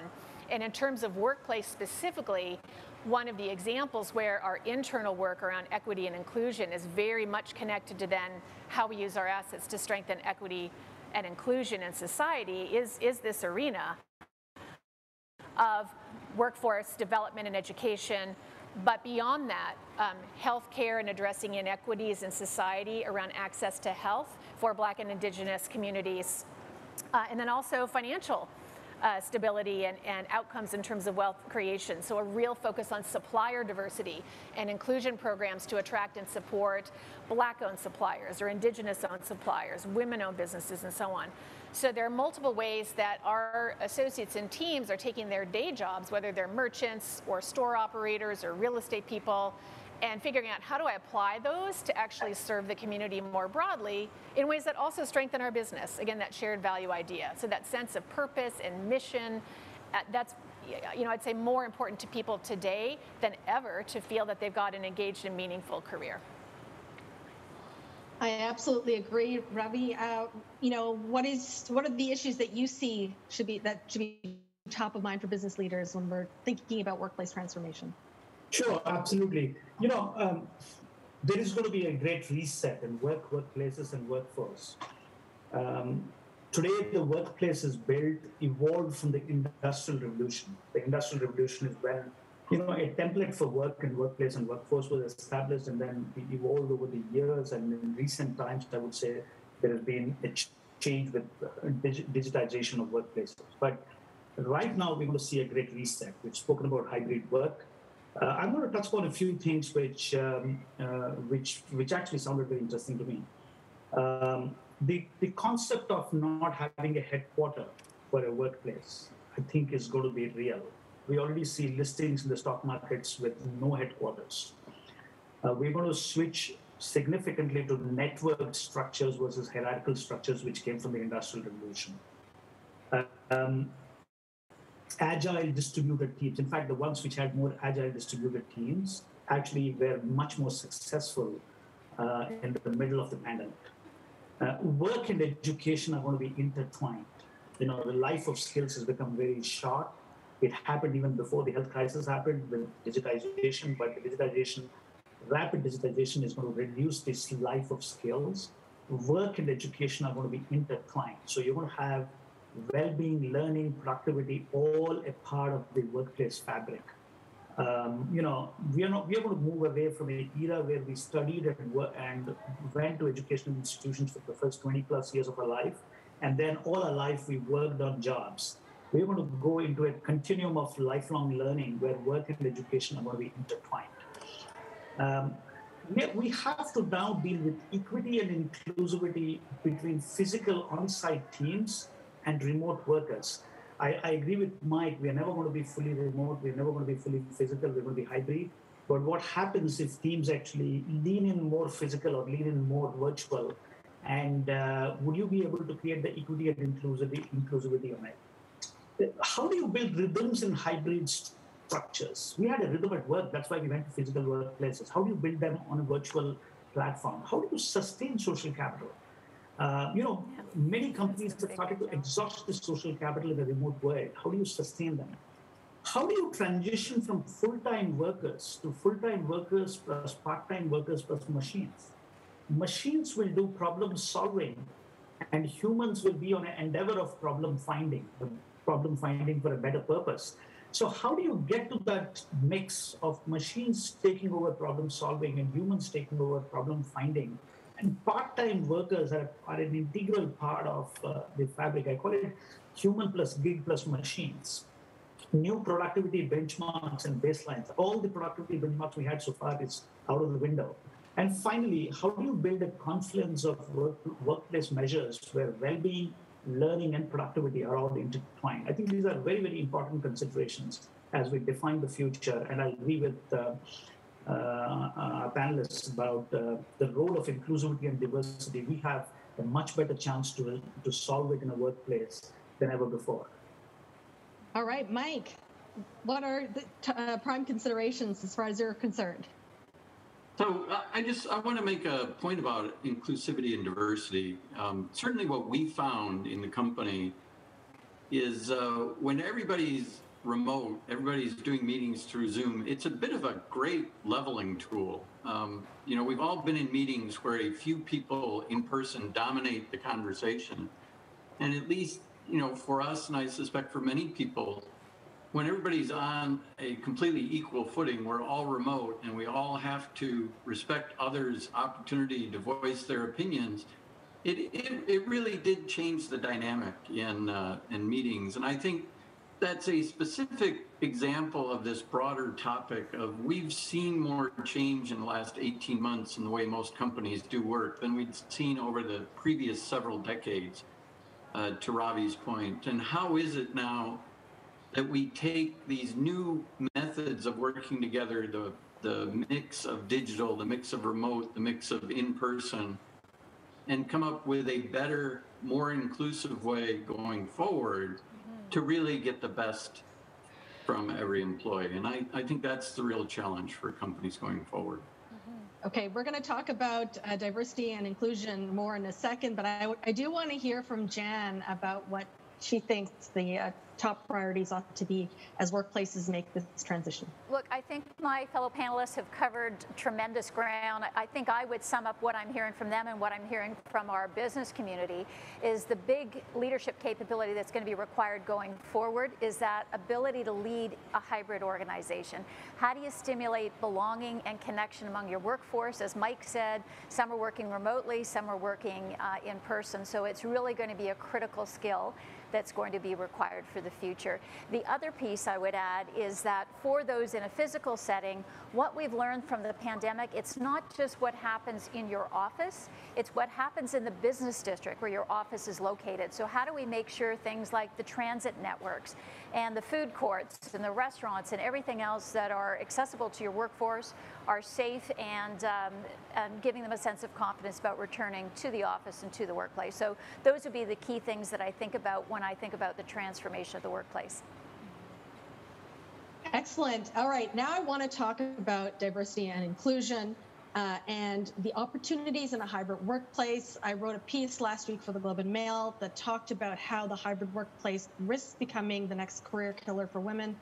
It went absolutely uh, wild on social media. Lots of people were discussing it. We covered it in an episode of the Decibel, our podcast, this week. I want to hear from each of you how you're thinking about hybrid workplaces and creating these D&I opportunities and I want to hear from Ravi first. Thank you, Rita. You know, uh, there's never been a better time actually suited to resolve and solve our diversity and inclusivity issues in workplaces. Uh, there are some pitfalls we need to be watchful about. You spoke about one of them. The second is how do you create equity and inclusivity between remote and physical workers? Um, how do you make sure that hybrid work leads to more inclusive growth.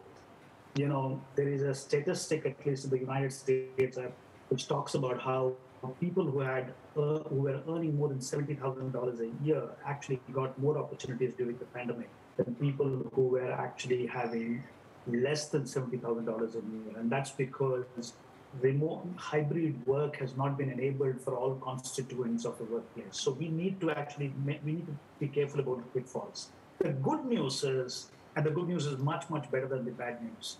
The good news is work is going to move away from rich urban settings to dispersed models, virtualizing work, and therefore giving access to the farthest parts of the world and the farthest parts of uh, countries where work was not accessed. That is for real. Every client of mine tells me, I don't care where you want to work from uh, where you where you employ people and where you hire people as long as you get it done. So that has never happened before. That has never happened before. And I think this is our opportunity to untangle work from physical, rich urban settings to dispersed models. Work is going to get disconnected from workplaces, jobs are going to get disconnected from work, and work and jobs are going to get disconnected from workplaces, which essentially means just the options to explore for enterprises are multiple, you know, umpteen number. And therefore, we have this unique opportunity to reset it.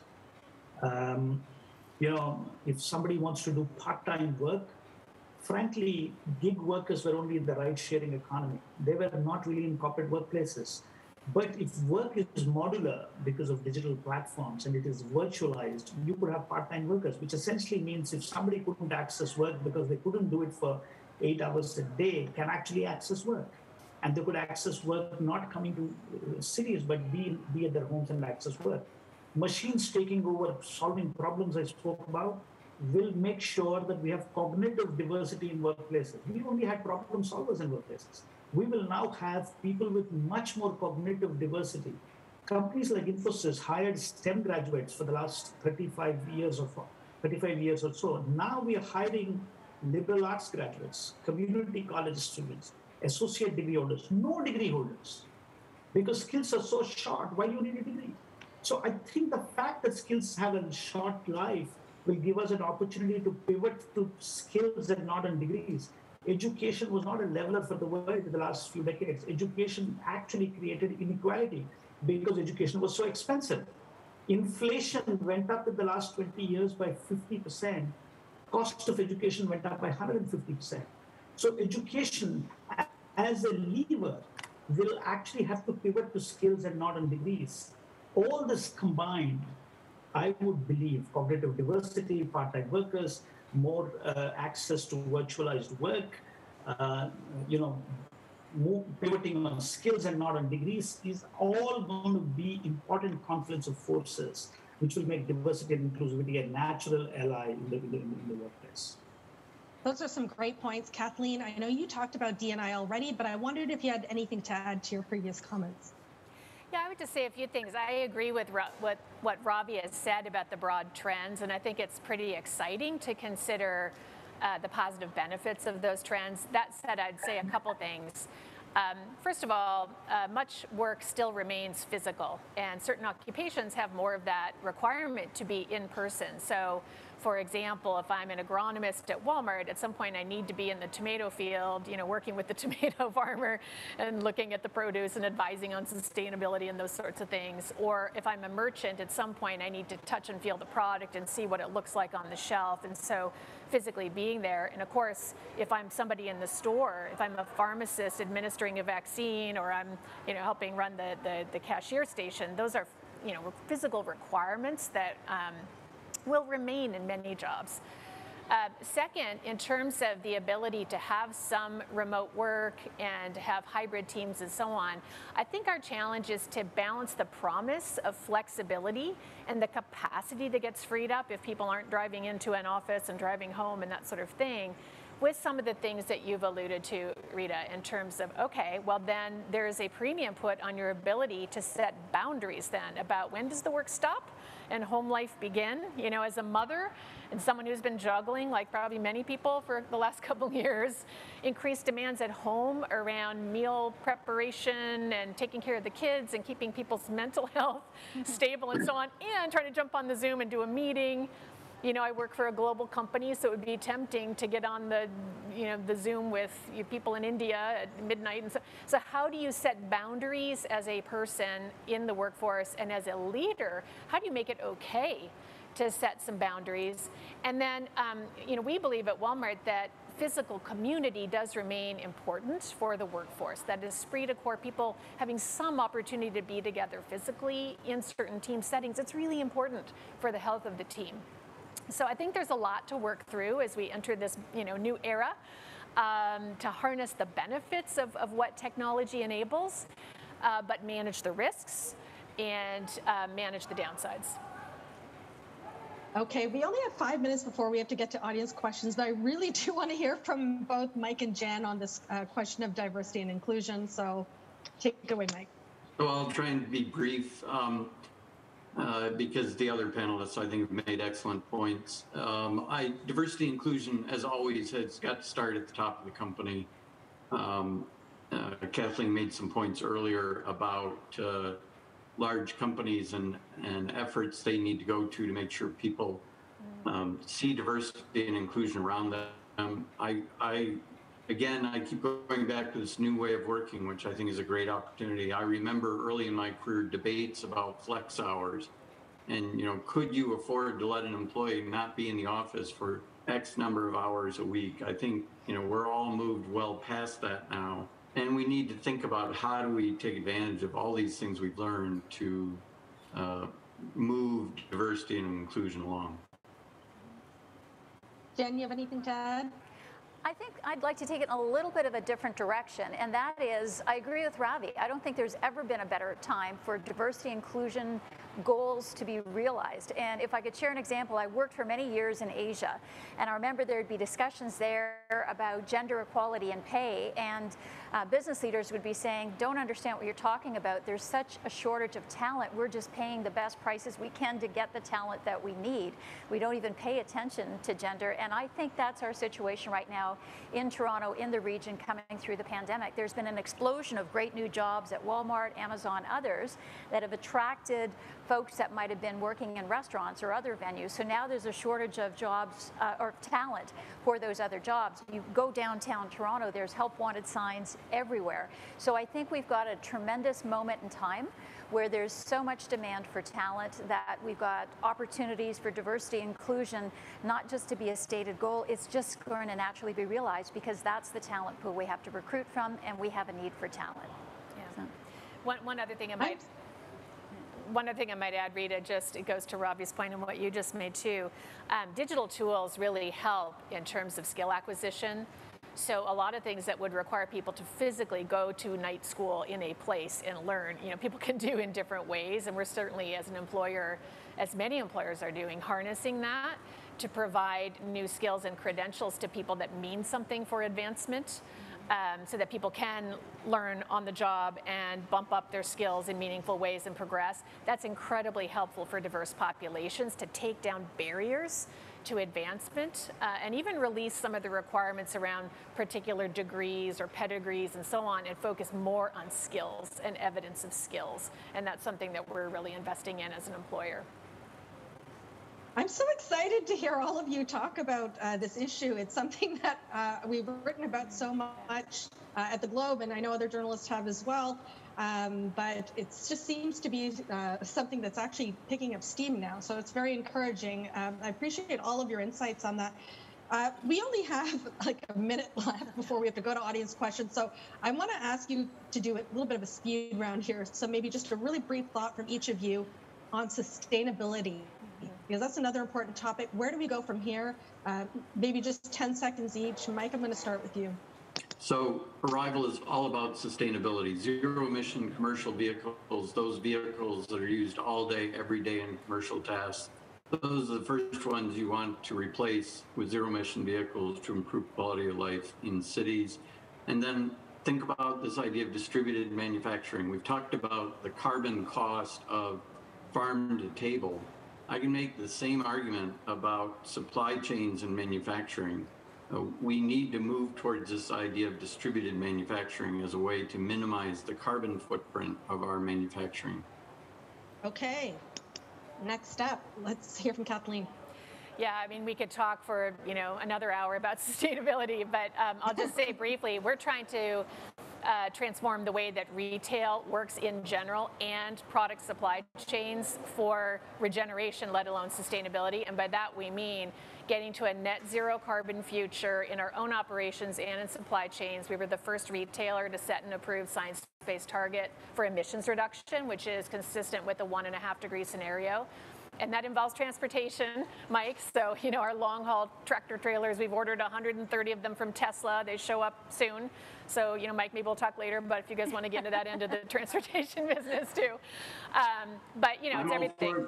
It, yeah, you know, it's renewable energy. Uh, and then in supply chain, it's a big deal. We have um, 697 Canadian suppliers yep. engaged in our all out effort on climate. They're working on climate, reporting, disclosing, and you know, we could talk for an hour about that. Second, waste, eliminating waste in operations, obviously, but also in supply chains, food waste, packaging waste, you know, again, lots to say about that.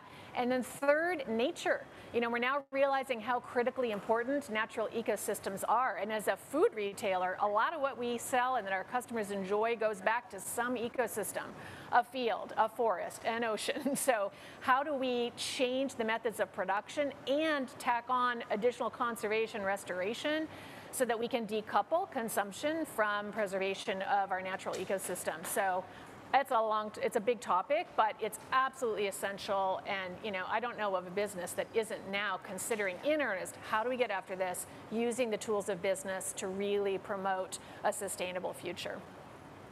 So it's 121. I'm really sorry to do this, but we're going to have to leave this discussion here. Um, it's an important topic, as you point out, but I'm going to have to throw it back to Stephen now because he mm. wants to uh, take some questions from the participants, and I, I think they want to hear from you too. So, Stephen? Rita, thanks so much. I really appreciate it. Uh, great panel, everybody. I was trying to capture some of the key themes, and uh, boy, you guys covered a lot. Um, sustainability, diversity and inclusion, uh, zero emissions, don't waste a crisis, supply chains, social capital, hybrid work, education. Um, you covered it all, and you really delved into diversity, inclusion, and sustainability. So We really appreciate it. Um, let me ask a question that um, has been touched on but not delved into. And it's, uh, it's an area close to um, a lot of our hearts. Uh, this, this whole pandemic has had a significant impact on the mental health of people. Everybody from kids to executives to, to workers throughout the organizations. Uh, I just want to get some ideas from you guys of what you're seeing in your organizations. Uh, you all run companies, and Jan, you have yeah. 13,500 members. So uh, it just seems to be an issue that's exploded, and I'd like to get your feedback. Did you want to go first? Yeah. No, uh, it's the top. It's top of mind. Every conversation you have about workforce, about talent, about morale. Um, everyone is uh, taking different approaches to try to get their arms around this. We heard from the previous panel. There's that mental health day a month where everything just shuts down. We've tried something similar where with our workforce of 125, Tuesdays and Thursdays from 3 to 5, it's no meeting zone. And it's just their chance to catch up, get prepped, and it had a huge impact when we mm. introduced that. So absolutely, everyone is hugely sensitized to this, and yeah. I'll maybe yeah, turn it over I to would Kathleen. echo that. I mean, on a personal note, I talked about some of my challenges. I have had, you know, periods during this pandemic personally where my mental health is mm. definitely in question. And we see it all around. We've all been reading about it and feeling it in our own communities. At Walmart, we've had a 5% uptake in our mental health resources. So we provided a, a variety of resources, including a partnership with Thrive, which some of you may be familiar with. There's been a noticeable uptake, you know, in that. So um, I don't know that we've got solutions. We're experimenting with exactly the kind of thing you talked about yeah. In um, our own teams. We've done things like we took the week around Canada Day, 4th of July, and just said, you know what, that's flex week. No meetings. Do what you want. If you want to take paid time off, you can. Um, but if you're working, that's fine. But it's just a breather zone, and that was a really important, you know, thing similar to what you're talking about. We have meeting-free Wednesday afternoons, and you know, I'm talking about, of course, people who are working in home office jobs. I think in the stores, we've tried to be really accommodating in terms of adding paid time off, providing mental health resources, being very flexible in terms of leave, you know, for people who just want to take a day. Um, and, and, you know, Ravi, I think it's a little bit like what you're talking about, learning to work in a hybrid mode. We, we also need to, there's mental health challenges that come with everything else going on. It's not just the pandemic, it's sustainability and racial equity challenges. We're feeling it all. Mm, yeah, no, great feedback. Uh, Mike, uh, Ravi? You know, I think uh, the two panelists covered it very well. Uh, we have more resources on a workplace for mental health um, than ever before. Um, deeply weaved into the workplace fabric now. It's an open conversation um, which never was as as open as it as it is today. Uh, so I would say this has got the most attention in most industries and most workplaces, and um, I agree with uh, uh, everything which has been said so far. Mike, any I think comments? on the one hand, remote work it becomes more challenging to judge your your colleagues' mental health, and and so we all need to be much more attuned to that. It's you know, if you're not in an office together and you can't have a casual conversation, um, I think companies have to put more effort in making sure that people understand their mental health is important. On the other hand, I think as everybody gets more comfortable with remote working, it also offers a way to make mental health resources available to people, and people I think are more comfortable with that. Certainly, we're using that um, inside of Arrival uh, throughout the pandemic and going forward. Great, thank you. Thank you so much. It's a great topic, and I appreciate all your response. Uh, I think we might have time for a question. Taylor, do we have any questions? Thank you. Yes, I do have a question from the audience. Uh, what qualities and skills will be most important to employers as they are looking for talent in the post-pandemic world? Yeah, uh, I can take that. If, yeah, uh, go ahead, Ravi. I was going to yep. say, think Ravi. All right. So, you know, uh, cross-functional skills because as you go hybrid, you are in a little more, little bit of a self-serve mode. Um, I have spoken about lifelong learning. This is one of my favorite topics. Um, you need to know how to learn to learn, learn to unlearn, and learn to relearn. Uh, and those virtuous cycles will happen all your life because the life of skills is so short. In fact, I actually think we need a Walmart Walmart Plus template uh, for, for, education, uh, which is um, get recurring subscription education all your life. Um, so this whole concept of just in case learning, which we did, you know, first 25 years we learn just in case something is needed all our life. We will move from just in case learning to just in time learning, deeply embedded into workplaces. So we need lifelong learners. Um, people who can work on manage by exception to micromanagement because hybrid workplaces, um, you're kind of managing by exception. People who can work on network structures versus uh, uh, versus hybrid versus uh, hierarchical structures. Um, you know, we are a tech company. We are hiring sociologists, anthropologists, psychologists because the cognitive diversity needed in workplaces has changed significantly. Okay. Um, you know, technology has become so deeply embedded that it's very low code. You could anybody who has an ability to apply technology can apply. So much more cognitive diversity in workplaces. Um, we have to start to prepare ourselves for a world where we want to do headless leadership in a way, like headless transformation. Um, you know, I, I, I don't even know where my headquarters is because um, organizations have become much more agile, distributed, and networked. Um, so that's how the world is shifting. In fact, if I have to draw a little, if I have to stretch a little bit, if we're going to have gig workers in a workplace, uh, the traditional HR channels of acquiring, you know, engaging talent and retaining talent, that is all out of the window. Gig workers, you have to curate the talent, assimilate the talent, and dismantle it and move on to the next cycle.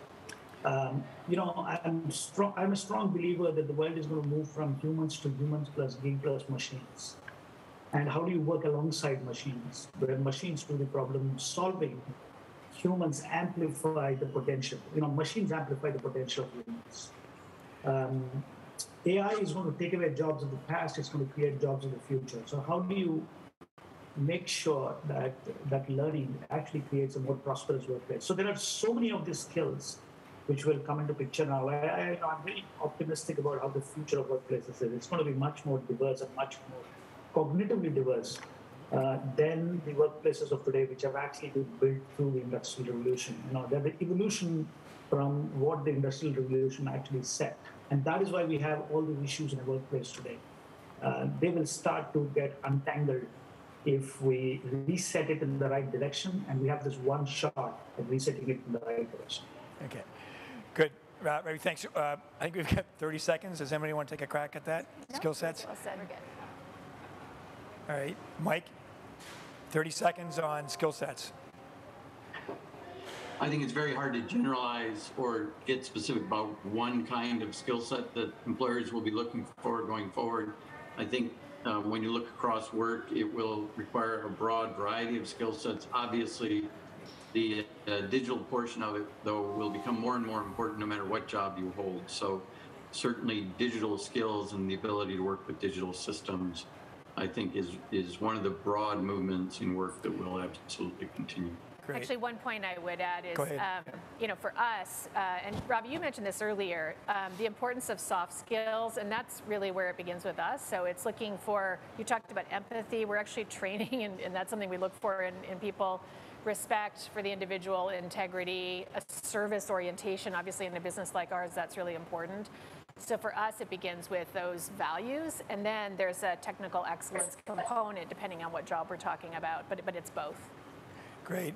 So thanks. So spot on. In fact, including empathy, I would actually say trust as well, because you're taking a piece of your organization and handing them over to right. take it home and uh, and deal with it, yeah. which essentially means trust and empathy both come together. Great. Uh, thank you so much. This uh, fantastic panel. Jan, Kathleen, Mike, Ravi, uh, Rita, thanks for hosting. Uh, thank you so much. Really thanks appreciate it. Us. Thank you. Thank you. Okay. Uh, ladies and gentlemen, uh, we're going to bring this to an end. I wanted to first of all say, on behalf of Mark Cohon, my team at Toronto Global, I wanted to thank you so much for joining us today. It's been a tremendous morning. We really appreciate it. I want to thank our team and partners at the uh, International Economic Forum of the Americas. I want to thank our political leaders who joined us, the Premier, the mayors. I want to thank our speakers, our panelists, our host. I want to thank our sponsors, uh, Nieuport, Nieuport, the, uh, the airport, um, Ports Toronto, Globe and Mail, uh, Air Canada. Thank you so much. Uh, we are releasing our annual report tomorrow, so please check it out, Toronto Global. Uh, and I want to just mention that in spite of this uh, really crazy world we live in, we just had our best quarter ever in terms of results. So we're really excited. We're at a, we're at a really an inflection point here. Uh, it's a crazy time. The pandemic's been here. It's probably going to be here for a while. But really, I'm really optimistic. I'm excited about the future. You know, we're going to live with this for a while, but we will get through it. We will come back. We will come back stronger than ever. We all have a role to play in this. You saw the excitement today and the optimism from our panelists. I am truly excited. We will come back stronger eh, than ever. Canada has a chance to lead the world out of this pandemic. And Toronto is going to be the leader, and we're going to be part of it, and we're all excited. So thank you again so much for joining us, and have a great day. Thank you. All right. Okay. Take it all in. Show up early. Stay late. Really late. Live your passion. Leave an impression. Commit. Get out. Get in. Embrace the moment. Hold. Hold. Overdo it. Do more. Leave less. Breathe. Get the bag. Keep one packed. Don't put it off. Because when we make it count, we rise higher.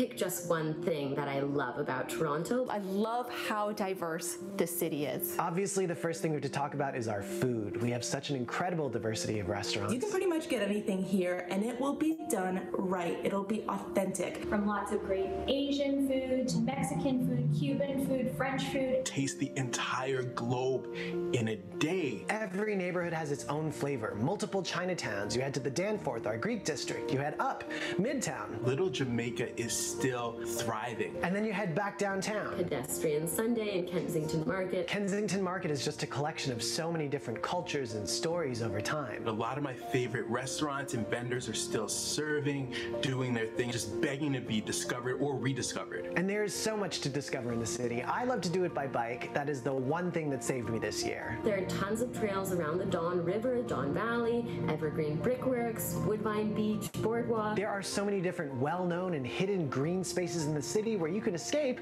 and forget that just a couple blocks away you're right back in the action. So everybody knows about visiting the Toronto Islands in the summer months, but most people don't realize that you can also visit in the winter. I'd say pack some snowshoes or cross-country skis if you've got them. You can't beat those amazing skyline views from the Toronto Islands. One thing I have not tried that I want to is stand-up paddleboarding out of the Scarborough Bluffs. So I'm going to go on the board and take in the bluffs from a different perspective. I feel like I must be the last person in the entire city to try the edge walk. Way at the top of the CN Tower. I need to get up there, take the entire city in. I, I would never, I would never do the edge walk. You could not pay me. what do I miss most? People, gatherings. The city has such an amazing, frenetic, and buzzy energy to it. It's lively, it's vibrant, it's people running into each other that they haven't seen in a long time. Or being out and randomly making new friends. Did, did someone just say hi?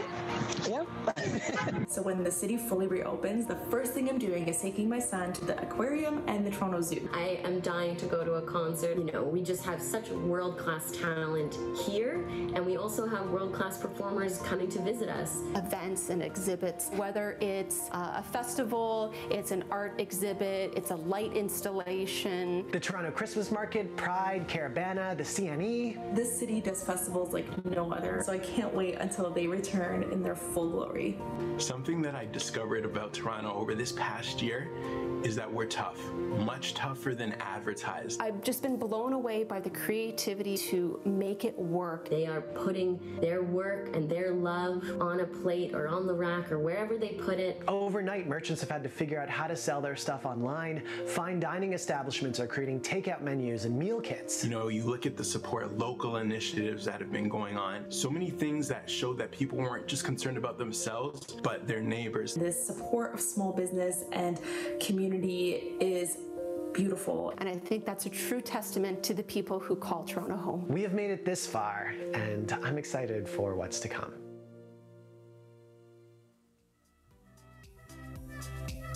Bye.